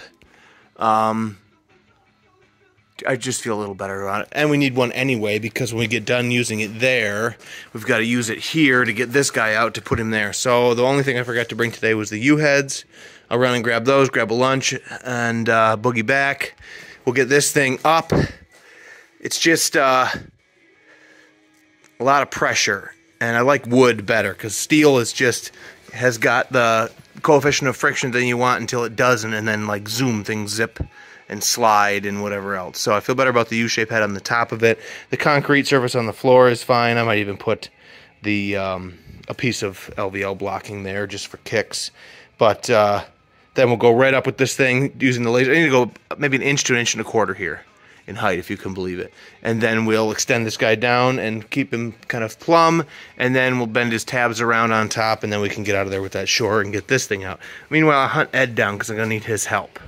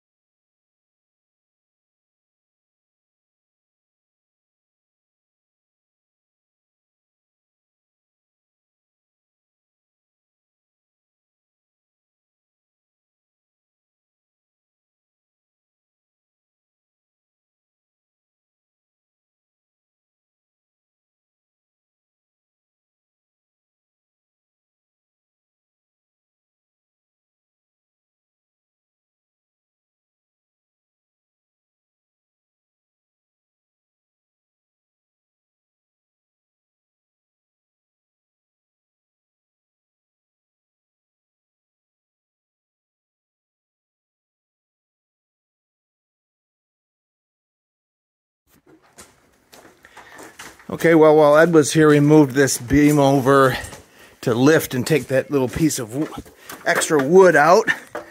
We couldn't get enough power with the three shores. We ended up with this heavy shore in one window hole. I was thinking we might need the other. I have, I own three of them. This is the 13 HD. So the HD series is the heavy duty series. My other shores aren't even the HD series. but the 13 is good for 13 inches to 20 inches and 52,000 pounds, or what is that, about 25 ton, 26 ton. So,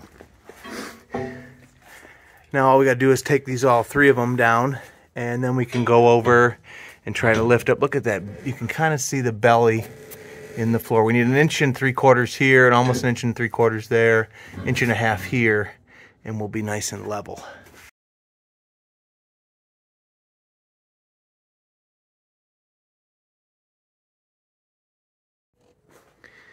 Okay, well, phone died a little bit there.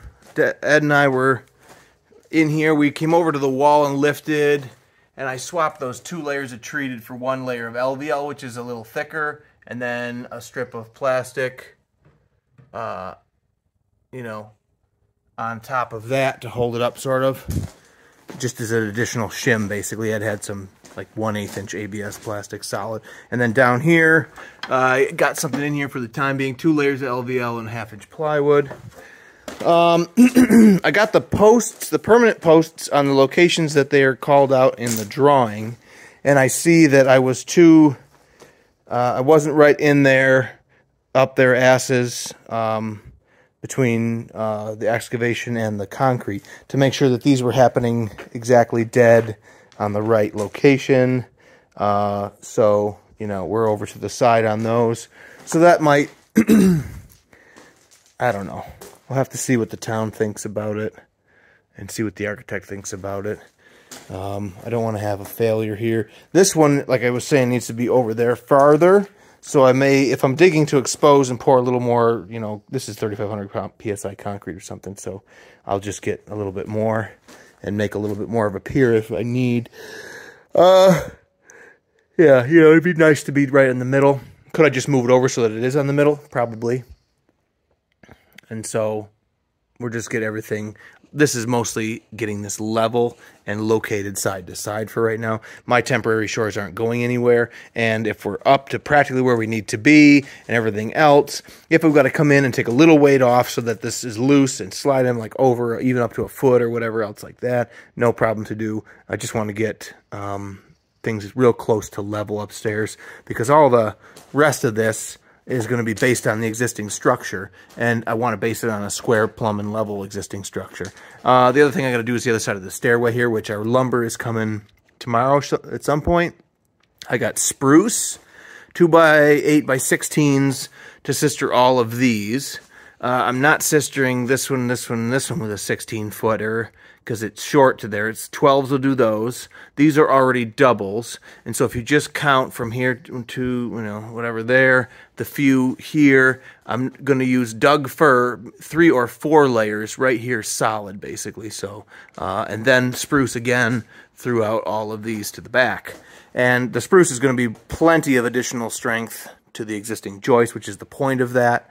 Uh, the Doug fir is going to be making a beam over here. I don't mind springing. He's like 18 and change each. The spruce is $15 and change each, so it's a good savings. We'll get all of, uh, we'll get most of what we need. We'll get it all for $500 or less plus delivery, which is like 25 bucks or something, but I can't put anything over 14 on the rack of my car. I definitely can't put like 20 sticks on my car.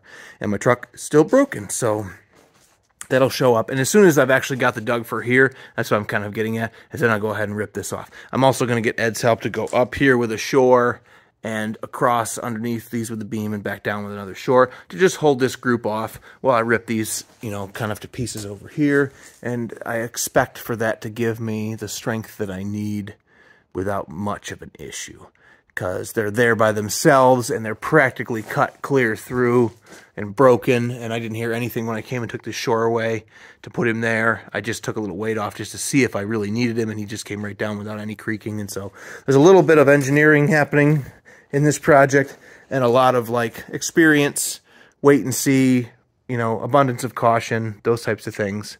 Um, and so we're, we're at that point now.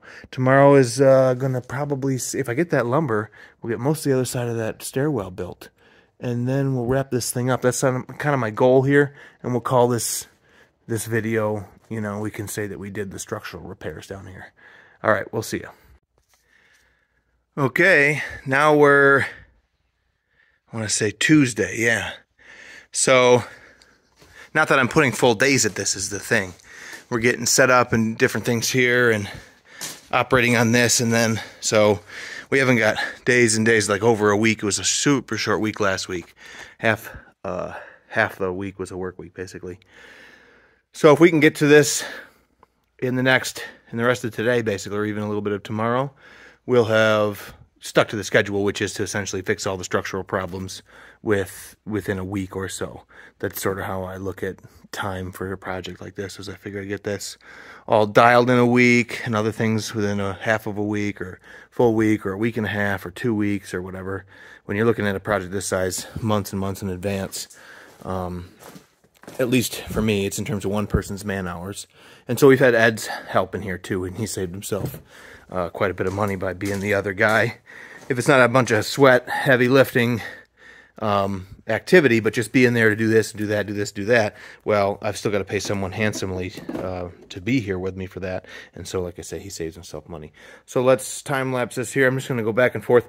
We're almost, we're like uh, 40 and a quarter, 40 and a quarter, and then we're at about 40, at 39 and a half, and like 38 or so here, um, or between 38 and 39 somewhere. That's the lowest point basically there.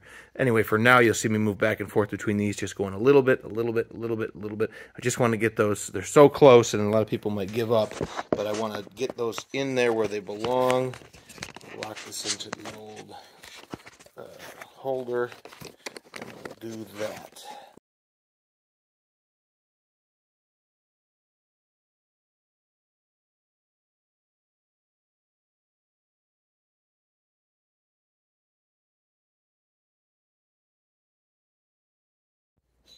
Okay. That's all the more that this one here wants to turn, basically.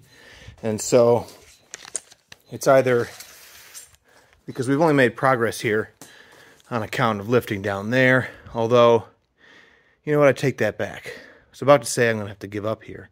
But I could adjust that down tightly, the permanent one, loosen this guy off, come down to the other side here, because I just want to get we're at a little over 40. And we settle a little bit when all the lifting comes out. And over here, we're at, you know, full quarter of an inch beyond. And the whole, the whole goal here is level. so let's try and do that, you know. You got all this set up, all this time spent, and, you know, just not quite getting there is annoying. So just keep pushing.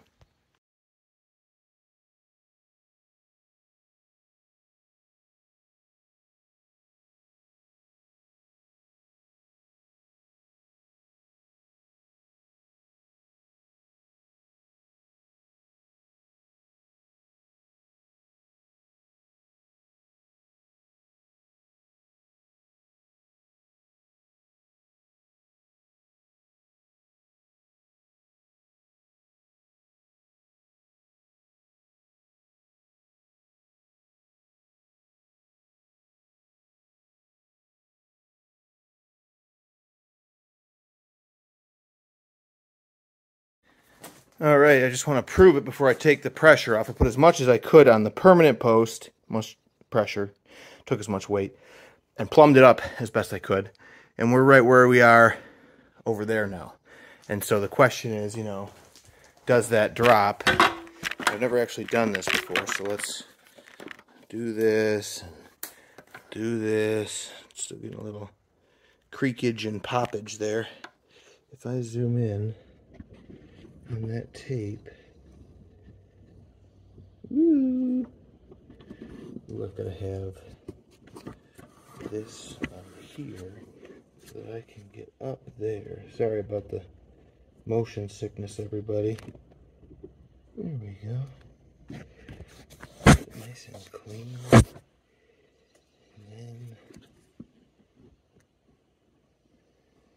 we're looking for that. See if it changes now while I let the pressure off. Under pressure. Mm, I can't tell you how much I've wanted to force this house to be straight and level. So nice. All right, let's take this out.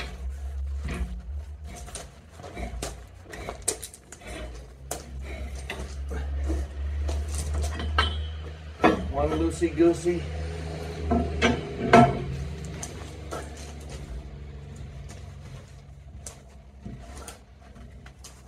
See all of that coming down with pressure on it still is technically pushing down some until it comes loose. I'm concerned. Well, we, we hung out, we're over 40, there we are. Oh, we're loaded here. So we're getting some collateral squishage. All the squishiness. Hey, we're still technically over 40. So I'll take that, call that a win. That's, this is why when we're within half of an inch to a quarter of an inch, which is ideal, um, we call it good because it's just, if you want to dial that to be exactly the same as the other one, you can spend another couple hours here at least and it just becomes uh, non-crucial to the project. Let's leave you guys here and watch, we'll move that shore to the left and do a little more lifting on the rest of them.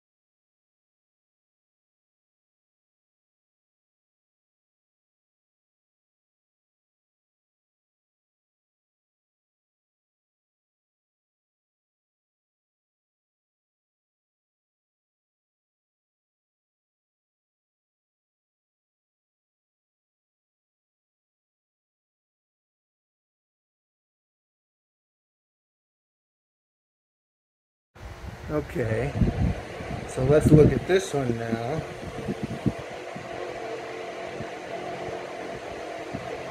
Because I let it down just out of curiosity. If we lose anything. Oh, I gotta tighten it up to the floor first. So let me run and get the little stick for that.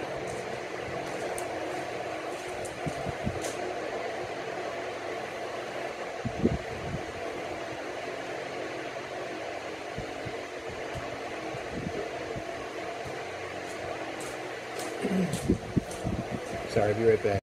All right, they give you a stick uh, to turn this heavy type with, so it goes through the hole there, and then the whole foot turns, which is irritating to try and keep it plumb. So I got real close, and then rather than even using that, I threw this modestly sized, no, that's a crescent wrench, here it is. I threw this modestly sized, ooh, uh, monkey wrench, pipe wrench. It's a 10 inch or whatever, 8 inch, uh, so that we're not going crazy here. But I did throw some torque on it by just biting on the outer diameter of that. And then I beat it with a sledgehammer, just not hard, just using the inertia to dial it into plumb exactly. And we're not on the location that the drawing calls out, like we discussed already.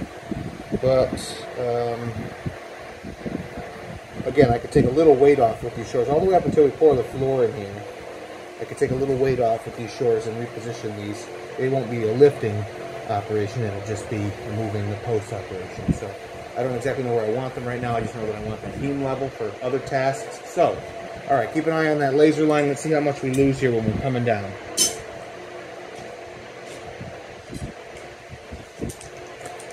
Forty and three eighths.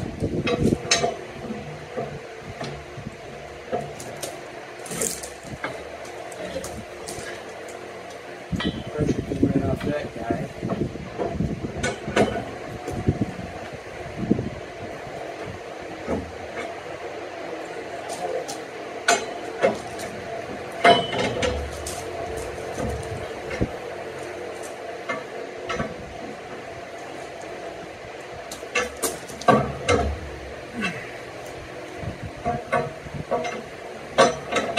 started, there's a big hole over here that makes it really hard to trust the footing.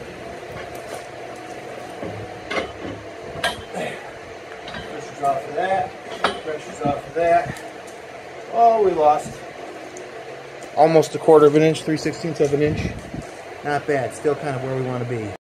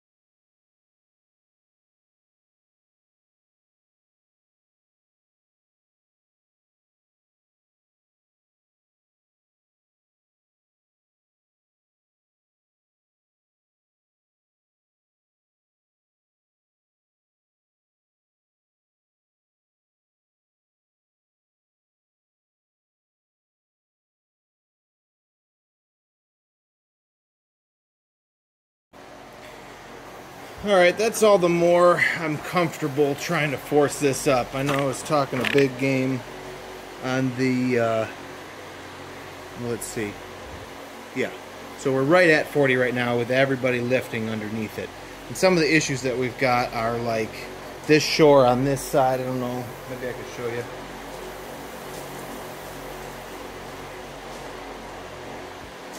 It looks like I've been checking for plumb. I'm not really. I'm looking at the fact that I don't know if you can see this, but like, uh, it's bowed by like an eighth of an inch this way. A couple of those got tweaked there years ago when I uh, left a barn up overnight on them and I had it chained up but we got a weird gust of wind. You can go back and see in my catalog actually. I've got the aftermath but you can see these shores in there. Actually no. I'm there the next day but I came overnight to address the issue and so you don't get any footage I don't think of the of what I found right after the windstorm but you can see that the building got uh, pretty twisted and so the shores have been tested, and then after that, I really twisted the other one um, by accident, so that one is down for repair. So since I haven't got a fourth one here for more power, and I don't feel like stacking cribbing all the way up to put that big heavy duty jack, let's just um, zoom in again, and we'll watch and see. Why is it the... There I'll just see if we lose anything there while I take this down. Okay.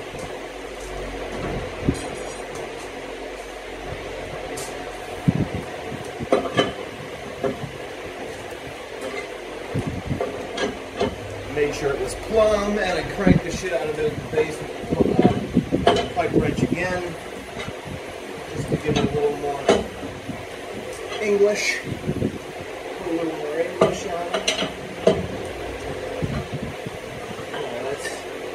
Big helper out. And we might have moved a little bit from that. And take these out. Try not to let that fall over.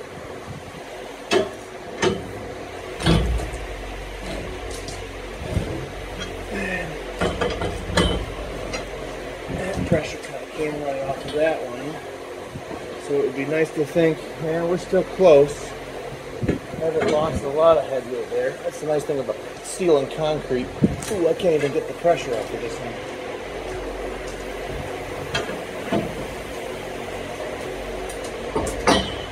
Huh. That's never happened before. Hmm. I'm not sure. what to do there. Get the pressure back on. Up a little bit.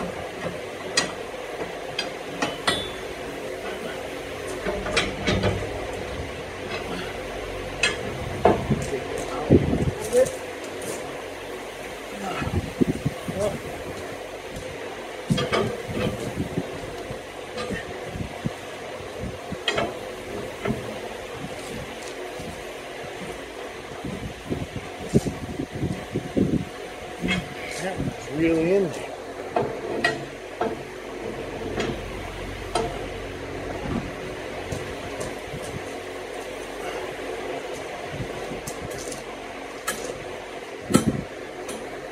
Oh shit.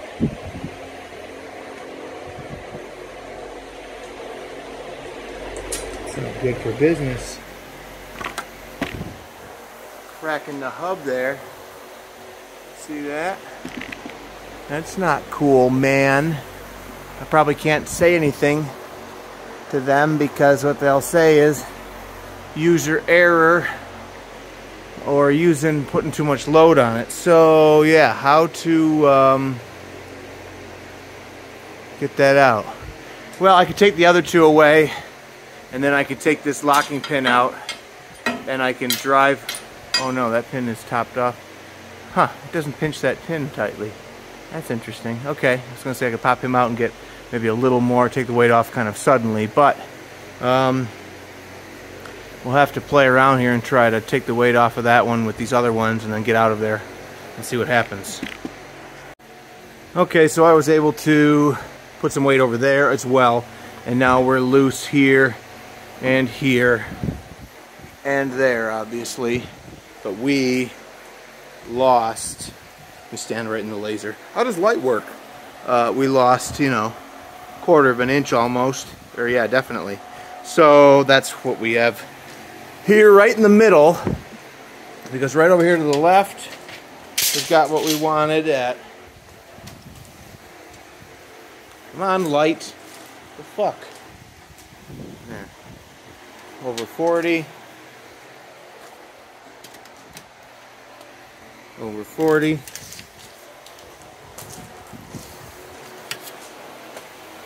think we killed this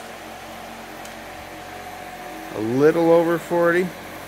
Or we could use a little bit of a tweak there also.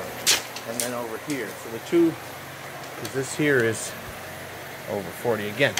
So these two, uno, dos, we could come down here with all the cribbing that's in my basement under load, underneath the other one of those, or the other two of those have each got a cribbing stack and they're loaded in my basement. And we could go with my own cribbing as opposed to Sean's that he was using here. And we could put those monstrosity massive HD shores under there and we could force it to go up the last little bit. Which honestly I'm inclined to do because it pisses me off that they think that they could muscle me. Just that far or just that close to, if not almost practically. But we're to the one side of our pier here if we're uh, where we should be. We're to the one side of our pier here if we should where we should be. And we're nowhere near where we should be here because it would be off the pier practically. And so I think that they want this underneath there which should be like on that shoulder. So I think we got to clear a little spot which is practically done for us pour a little more concrete at some point it'll probably be something that I do when they're here making mortar and we've got the water and the wheelbarrows and the mixing and everything's happening or maybe I'll ask him you know that's what I'll do see if the mason can pour me more pier and uh, fill in these holes with block and install all the windows, you know, and what's the price for that when the time comes. So for now, we're really darn close to level. I'm gonna break this lifting stuff out and or down and get it out and set aside for now anyway. And we can pick up and build the drains. Oh no, we gotta do this side of the lumber hasn't arrived yet. We got to reinforce this side of the stairwell. I was about to shut this whole series, this episode down, but hang on, we're not done. All right, I'm just packing things up, but I couldn't resist this plane laser again. I'm able to catch the, both edges of the I-beam, splitting that laser beam all the way down here. I actually have it on low power mode. I could turn it to high power mode. Maybe that would help. this a little bit. There, super bright. I mean, it's right there. It's right there. It's right along the edges over there, and it's right along both edges to there. Now that is a fat post, but you can see it's right down the edge of the post. And again, it's right there. Look at the wall. See, it's right there. Bam. You can see it on the edges of the I-beam down there as soon as I bump it. So we are really nice and straight in here. I know it's Pride Month, but for real. Straight as an arrow, as well as quite plumb, since I'm catching both edges real well. So that's enough battery wasting and running my mouth about it. So let's break out that lumber. I'll see if that can't get here today. I better call and double check it's coming. All right, Ed's here. He's out there making uh, his sister joist because our lumber arrived. We did have to hand load it. Didn't end up with a Moffett truck with the forklift on it. So he's going to start over here. He's actually got one line there. And so what you can do is get a sense of you're going to go over into the rim joist on the one side or the other here if you're trying to fit a piece in next to these, maximum length.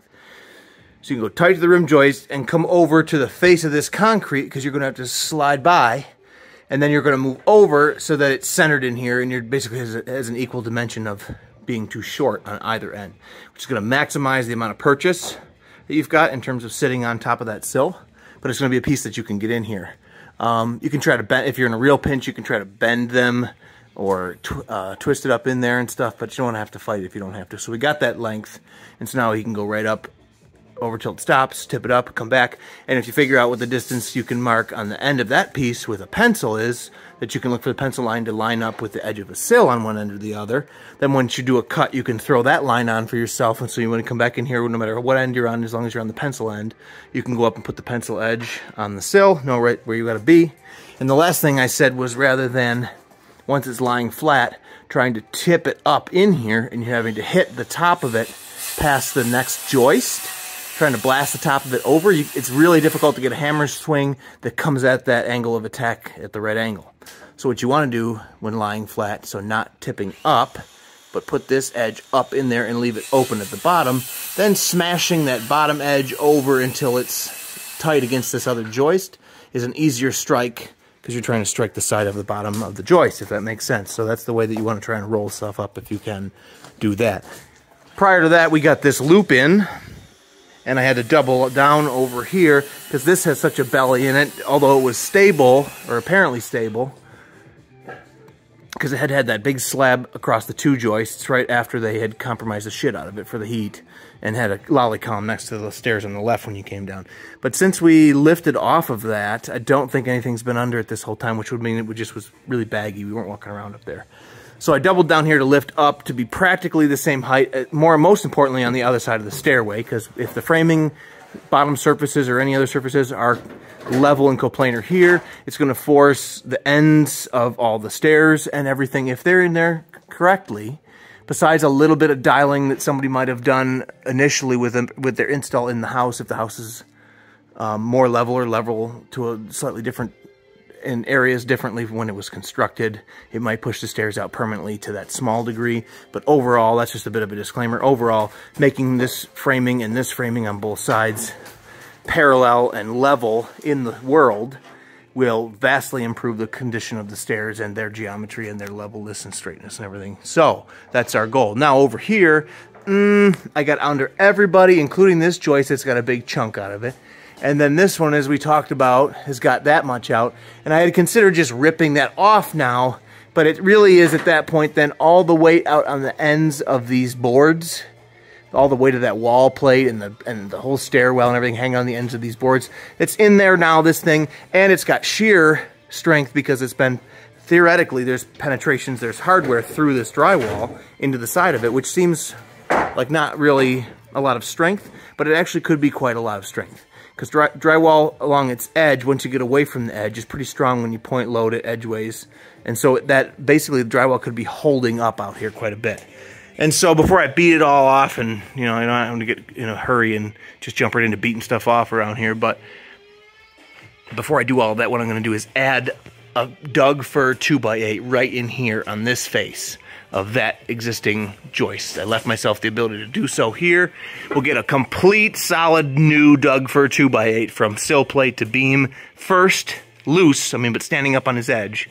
And then I'll have more confidence in tearing this outside edge apart, you know, because he could even be slid over some. Um, and then from the outside, we'll add another layer, at least if not a third, a third layer for the three layers of solid Doug fir. I got to move those wires over.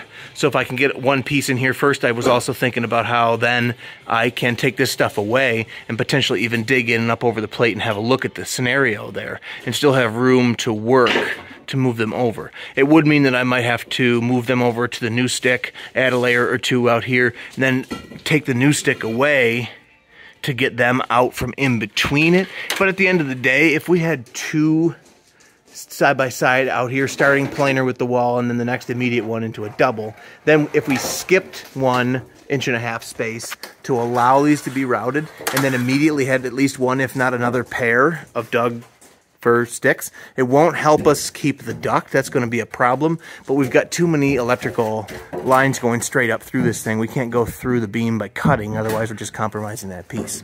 So we'll have to skip. Even if we only skip, I was going to say only a half an inch or something, but those are a little bigger than half an inch. Plus, they're not necessarily all lined up. Yeah, they're not bad.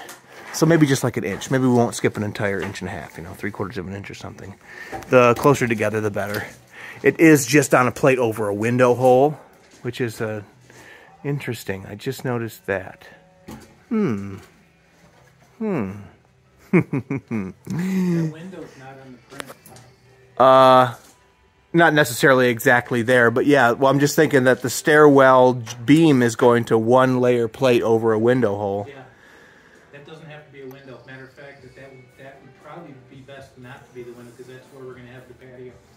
I'll have to ask everybody here, involved. Yeah. In this room. Oh, yeah. This, so it'll light this room. Yeah. That one's. that- Like I well, like I said, the glass block's going to be as strong as the concrete block practically. So the window unit's not going to be that much weaker. True. We'll have to see. It's not like it's a pane of glass, but yeah, we'll have to check that out. So, in the meantime, that's the plan here.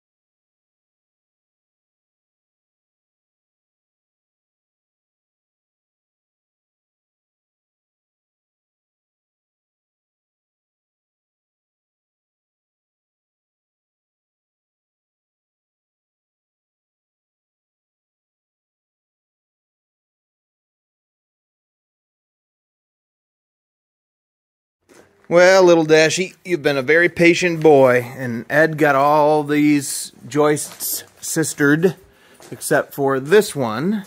Since we want to be on the right side, I'll explain in a minute, we had a, a, pocket we could go by with it on the left side, but that's if you go up perfectly vertical, which we aren't. We're going up flat, starting the top and kicking the bottom over to start with, so that's got to be moved up or taken up through the floor to make some clearance, and probably have to take that inch and a half on this side of it to move the whole thing over. Uh, and so we'll get, thereby we'll get our uh, joist sistered there. Plus we don't have to contend with that water line right now. And um, being on this side means that we could continue on this side, this whole side of the house. We could be on the right-hand side here, which will be good because, see, the left-hand side has got the tail of the joist on the other side of the house here. So we'll be sistering on this side, which worked out perfect, real nicely.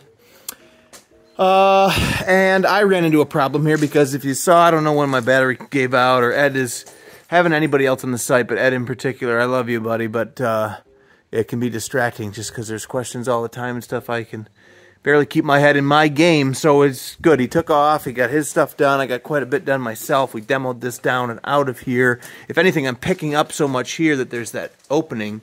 I haven't loaded this yet, which is good.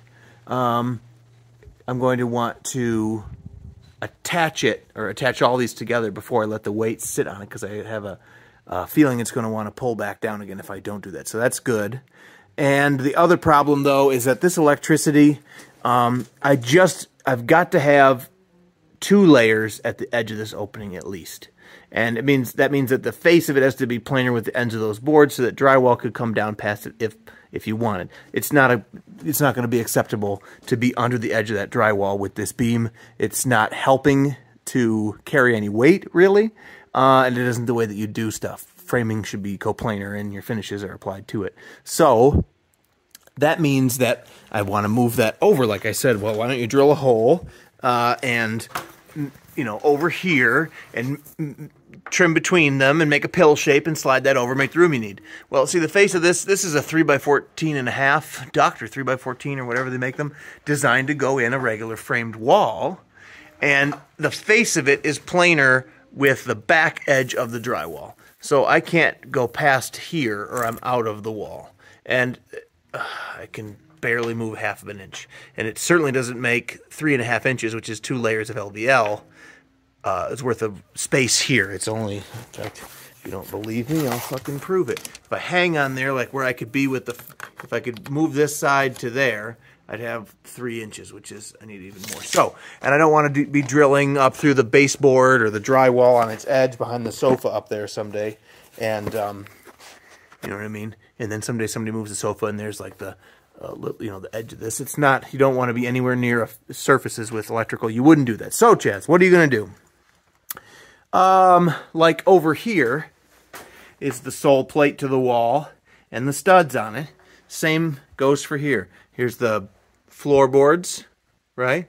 There is plywood over there because there weren't any boards there. So there's the floorboards here, and then there's the 2x4 sole plate, and then there's studs. So I'm going to essentially snap a line right through this inside crack all the way over to here. This is the last electrical though, so I can go straight up here. I'm going to expose this tomorrow, and I'm going to go in there with a right angle drill, and I'm going to drill a route through the studs, and I'm going to go into the wall and I'm turn this, and I'm going to go through that route over there, and I'm going to take those and go through their own route, and we're all going to go into the exterior wall of the house over here, and then we can come down in that wall's thickness into this space and we can turn left and we can go through either this wall or we could come down you wouldn't hear because there's a window, but if we wanted, we could roll around and down into the thickness of this finished wall and head that way. But again, you won't because the chimney, so you'll just stay in here.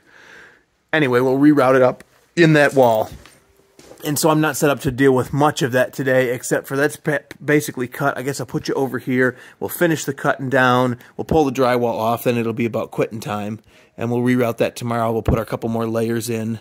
We're going to obscure that heat duct for now. We're just going to solve that problem later because I can't be bothered to deal with it right now. I want this opening to be appropriately framed solid. Then this can come down and we've got all the structural, major structural issues handled. We've got some little tips that stick down over there to trim up, and um, we could get the we could go up a quarter of an inch on these two center posts. I don't, I don't know if I mentioned, mentioned that, but that would mean that we get the other big boy jack, the HD, and we bring some cribbing blocks in here and we go up on cribbing blocks to there and then we slide that short fat boy in and we just muscle him up actually in this location in that location um, that last quarter of an inch because I just couldn't get these light duty shores to go up like that.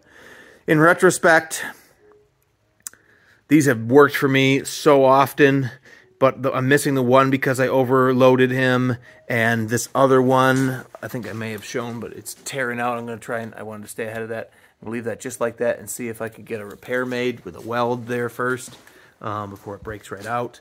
And so anyway, the point is I should have gotten the, heady, the HD series shores for, from for these.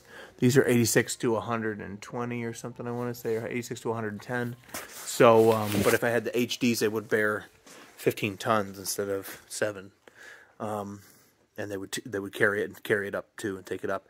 So in retrospect, I could have gotten the heavy duty versions. I probably wouldn't have tweaked one of them by now. I'd have the power under these circumstances. But you know, the other thing that has bitten me with these is that 86 inches tall. They don't go in my basement and they don't go in a lot like this home originally. The depth basements that a lot of this area has, you can't get under the main beam. This dimension is you know 80, 82 or it's sometimes even less than that, but oftentimes just a hair under 86, and I can't get from the floor to under this beam directly. So if I got the HD series for these to replace these someday, I'll probably get the next step down in length because they would reach as high as I usually need them to reach, but they'd be so much more powerful. So let's set up the time lapse and I'll expose that wall and then we'll get packed up and get out of here.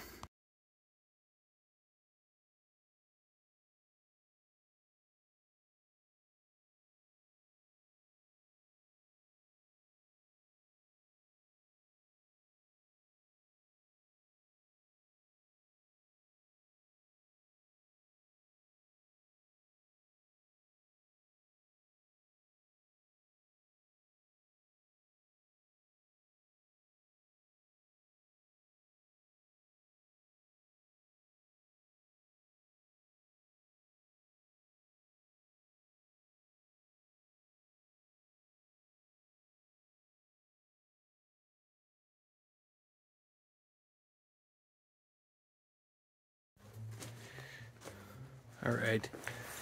So I don't know what is going on here. This appears to be, I guess we could go right up and actually look at it.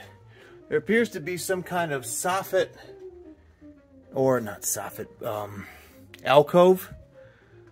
Like they turned this, they've turned this, I can't, they've turned the stud sideways.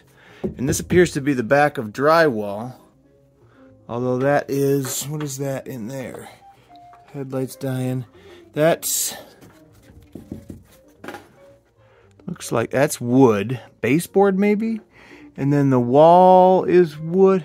I don't know what all is going on here. Uh, it was not what I expected to just have a studded wall like that. Uh, this is the stuff. It's not that it can't be figured out what to do. It's just that I was just about to finish the structural remediation and we got all this.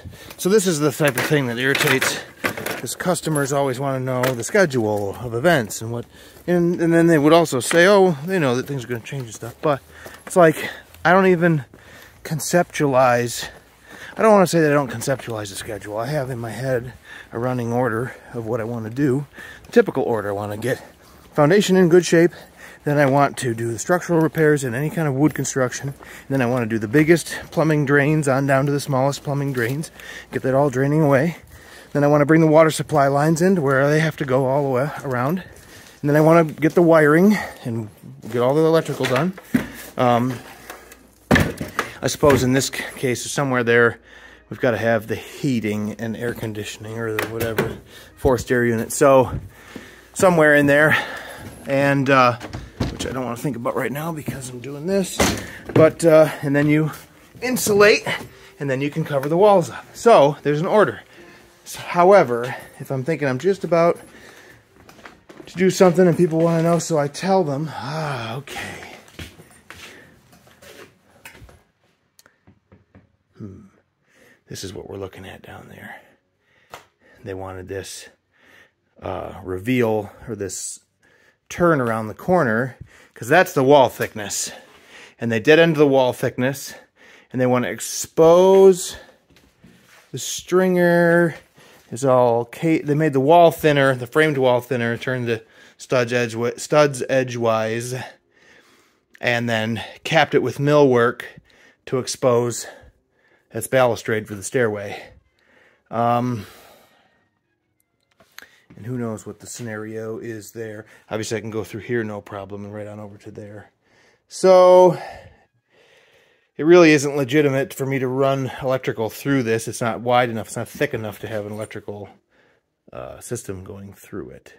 So we may, in fact, have... Fuck, I can't. okay, go back down and look. I couldn't imagine what that was. I never had noticed the feature. That was picturing... I don't know what I was thinking. But the way that the stairway and stuff is constructed is a little differently than what you would do now. Um, so now that we've wrapped our head around what is the issue, we use door string to pull the door shut. Leave that there for now instead of struggling. Talk to the concrete folks, and um, I think you'll notice this here is an acceptable overhang. It's bigger than ideal, but it's about an inch. And over here, uh, we can look at this together. He indicated that that's about an inch up there also. I don't know if you can see my, I probably can't see. Uh, hang on. So that's, you know, an inch or so there. Um, and so I said, well, this is what makes me uncomfortable. It's like two inches right here to the outside edge of the original plate. And this here is like sitting up you know, it's tipping down. But the fact is, I checked for plumb out here. I skated along the face of the um, clapboard shape, and I looked at the door, and between that and looking at the door, it looked pretty plumb here. But we actually went around inside and through a plumb a level on the face of the framing of the wall, and you can see that it has to come over. We pulled the plumb out to where it was reading plumb and we needed an inch at the bottom. So it needs to be pulled over an inch. And then I got to thinking about it and why didn't any other parts of the house wall change? They came straight off the foundation, old one, and they came straight down onto the new one. If you look at this wall, it practically doesn't continue over to the house. This aspect is controlling it for straightness, where the end of it dies into this plane, controls it for straightness. But over here, this door slab is in a hinge, and basically this whole thing can wangle dangle. And so if it got started or slid or bumped, see, because Sean also had pieces of lumber applied to the face of the framing inside so that he could lift under it. You know, he didn't get under, he couldn't get underneath through the old foundation and pick up. So we didn't have to have beam pockets here to get the beam out because he just screwed a 2 by 12 to the face of this wall and he got the beam underneath that and that's how we were lifting, however it was over in here. But in removing that or anything else like that, this just got pushed out some. And so I'll just take the same strap that we used to pull the beam toward us. I noticed that I hadn't taken that down yet, so I'll get attached to that somewhere, and we'll go over to the wall here, and we'll attach way back there. So we're pulling practically straight on it, because I don't really have anything else over here. Unless I don't, if that doesn't work, I can back the skid steer up and pull directly this way. Either way, we'll get that slid back onto the foundation, and it won't be a problem at all. We may have to add a little bit of concrete next to the pier uh, in the basement. I will bring this back in the back if we want to move that post to directly and exactly where the architect asked me to place it.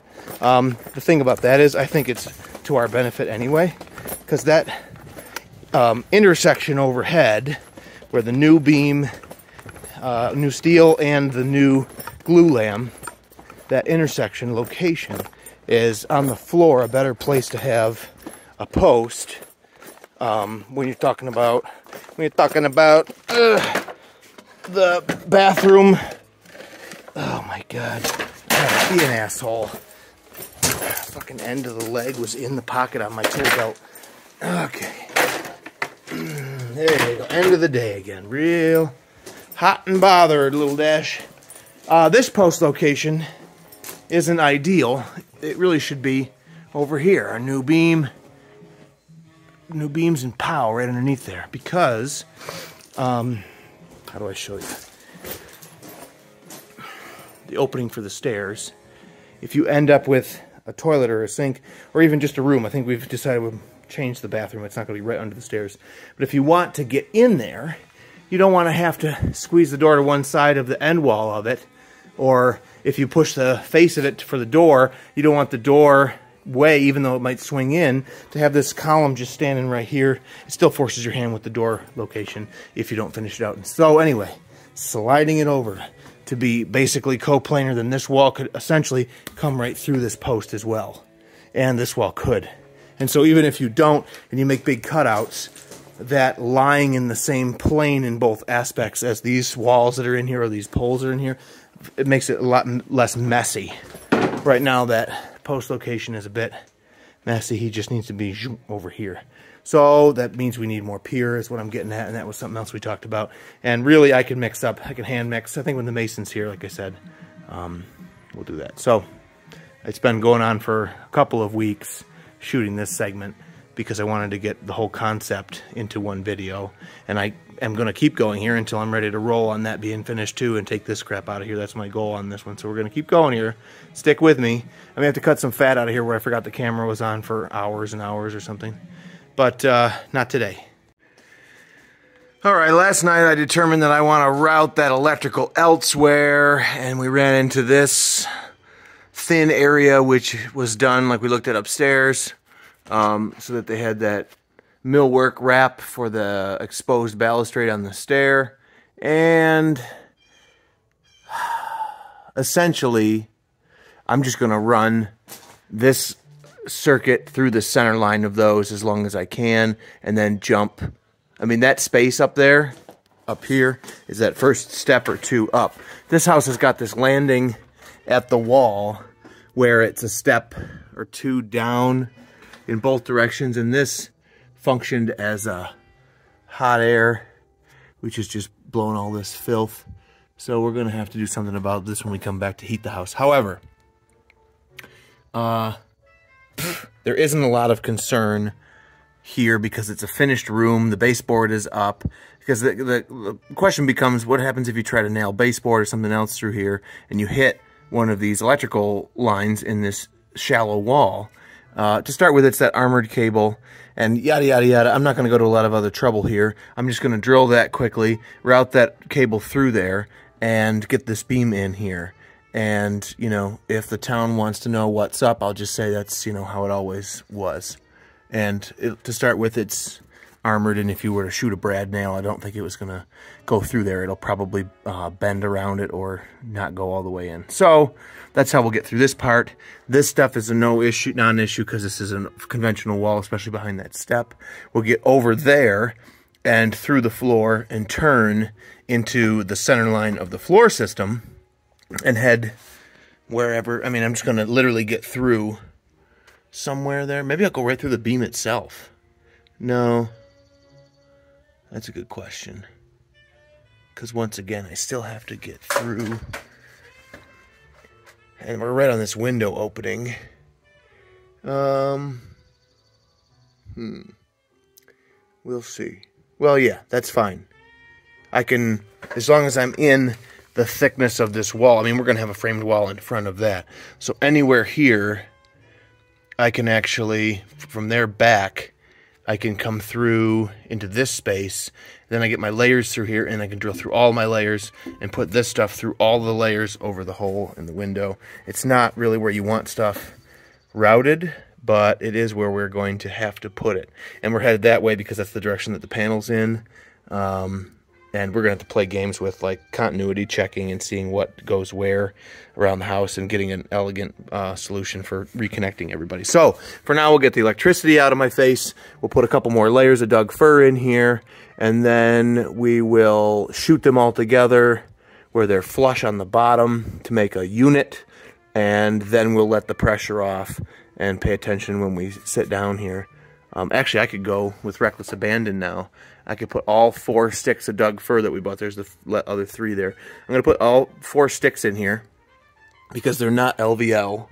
Um, it's not the exterior wall, but I just like to see this area really beefy. And I bought the lumber already, and we've got the room for it. So, time I move the electricity, there's no reason this can't be solid wood. And it, the hope is that it skips the uh, the necessity for another post next to the stairwell. I'd like to think that we can skip that. Um, because there's been no mention of it in the architectural drawing so far, even though there was one there before. It was because, again, this thing had been compromised. So enough blabbing. Let's buckle you guys in and we'll watch me do this because it's not like you haven't been bored to death already.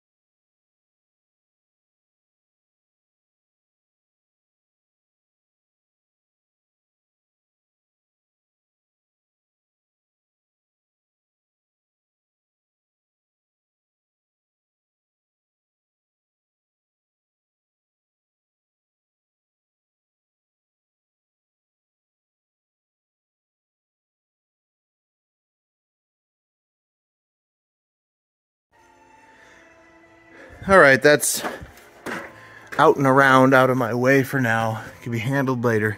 This just makes it to here, which means we'll have to do a junction here somewhere. Uh, and it'll have to have a, it'll have to be blind covered here if this area is finished. Once again, we're not going to exhaustively finish all kinds of stuff uh, for this project because it's just a big chunk of change to get the meat and potatoes of it done. So we got that routed. It looks about like you'd see um, something routed from this era, you know. Uh, it doesn't jump out at me as being unexpected. In fact, it's not right in a, in a certain sense, but um, it's a whole hell of a lot better than what was going on before, and it's going to solve our problem for right now. And uh, it's a best case scenario being the armored wire, and so I'm just going to leave off on that before I perjure myself further. Sorry about that. Frog in the throat. Uh, I got to go get Ed because he's going to help me put these in. Coming up at that slight angle to get over and then come back onto the plate, uh, I've got to actually put a short bevel. See the top of that joist has got a little down angle on it right there. So that helps lead me up and over without that top corner jamming into the side of the floorboards. And so with that, I kind of need to be on both ends. So I'll have to have his help, and then we'll just tap this in, and then I'll tap it back this way. He can keep it lined up to going back on the sill. I can't do that over here and tap it back that way from this end. So we'll need his help. We'll get the rest of the layers in. We'll break this um, uh, temporary beam down, and then he's going to probably continue sistering. He's going to have to clean up the bridging and stuff out of here and some more electrical and stuff, but he can continue wailing on that. And we can cover this last little bit and call it an end of this video. It's coming, guys. Here, here it comes. It's coming. It's coming pretty soon. I'm going to let you off the hook.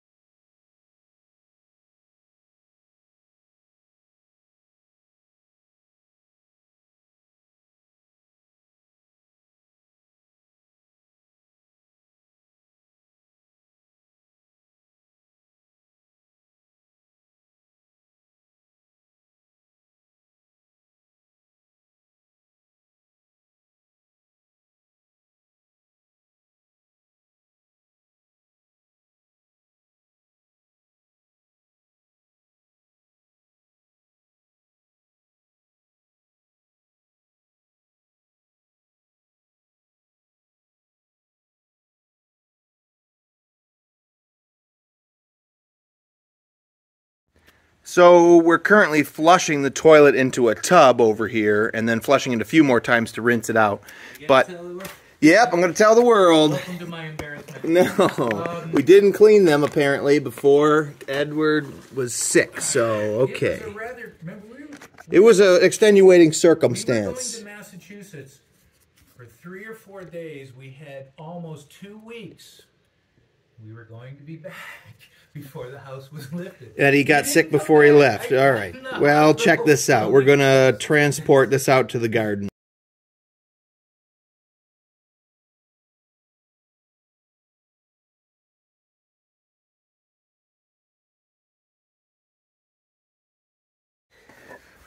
All right, we'll do that a couple more times with cleaner water, hopefully. But as soon as I saw that first uh, flush, I knew it's going to be more than you want to try and handle it uh, like that when it's uh, six or nine gallons worth of water. No, thank you.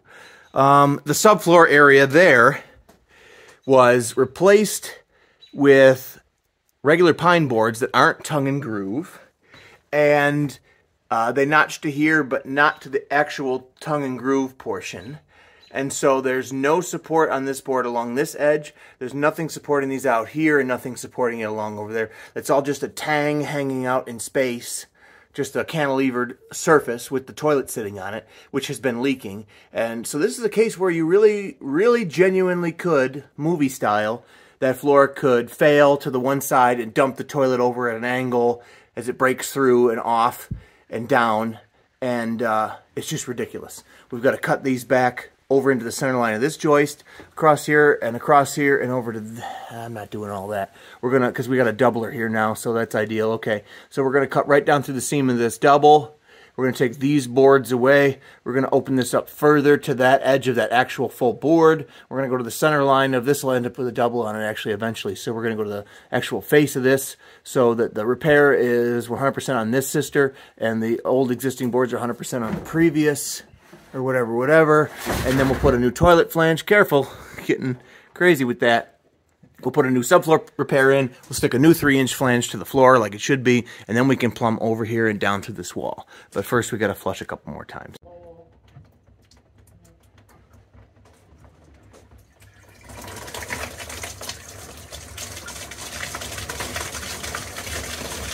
Oh yeah. Now she's running clear. That's practically drinkable again.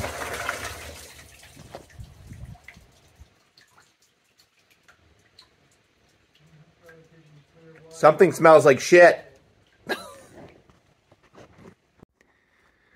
All right. I'm pleased to say that we have achieved structural soundness, structural integrity. That's just Ed closing the door. What's that? And the door's closed. Good. Um, I had to fight with this a little bit because in just sending four layers up, I ended up. I need to be careful with the angle here. I sent four layers up, but I ended up behind the framing of that wall, and really this needs to be um, flush. And so down here to start with, it was easier. I tapped everybody out until flush, and then pinned up into the edges of the floorboards just to hold it there, as well as pinning, up through the plate. Over here, we were an inch back or so, so I had to rip off the old joist. You could see the shadow from him there. He was the one that was notched. He was the last layout joist that was notched before the edge joist that was notched. Um, I ripped him out of the way, and then I could beat on this whole group to go that way, but it still didn't want to go. It was being pinched so much here in the center of the house here. And so I came over with these shores since I was done with them there because I had enough layers here. And I lifted on here and on there, which I was happy that those had gone long. I mean, this one goes right over.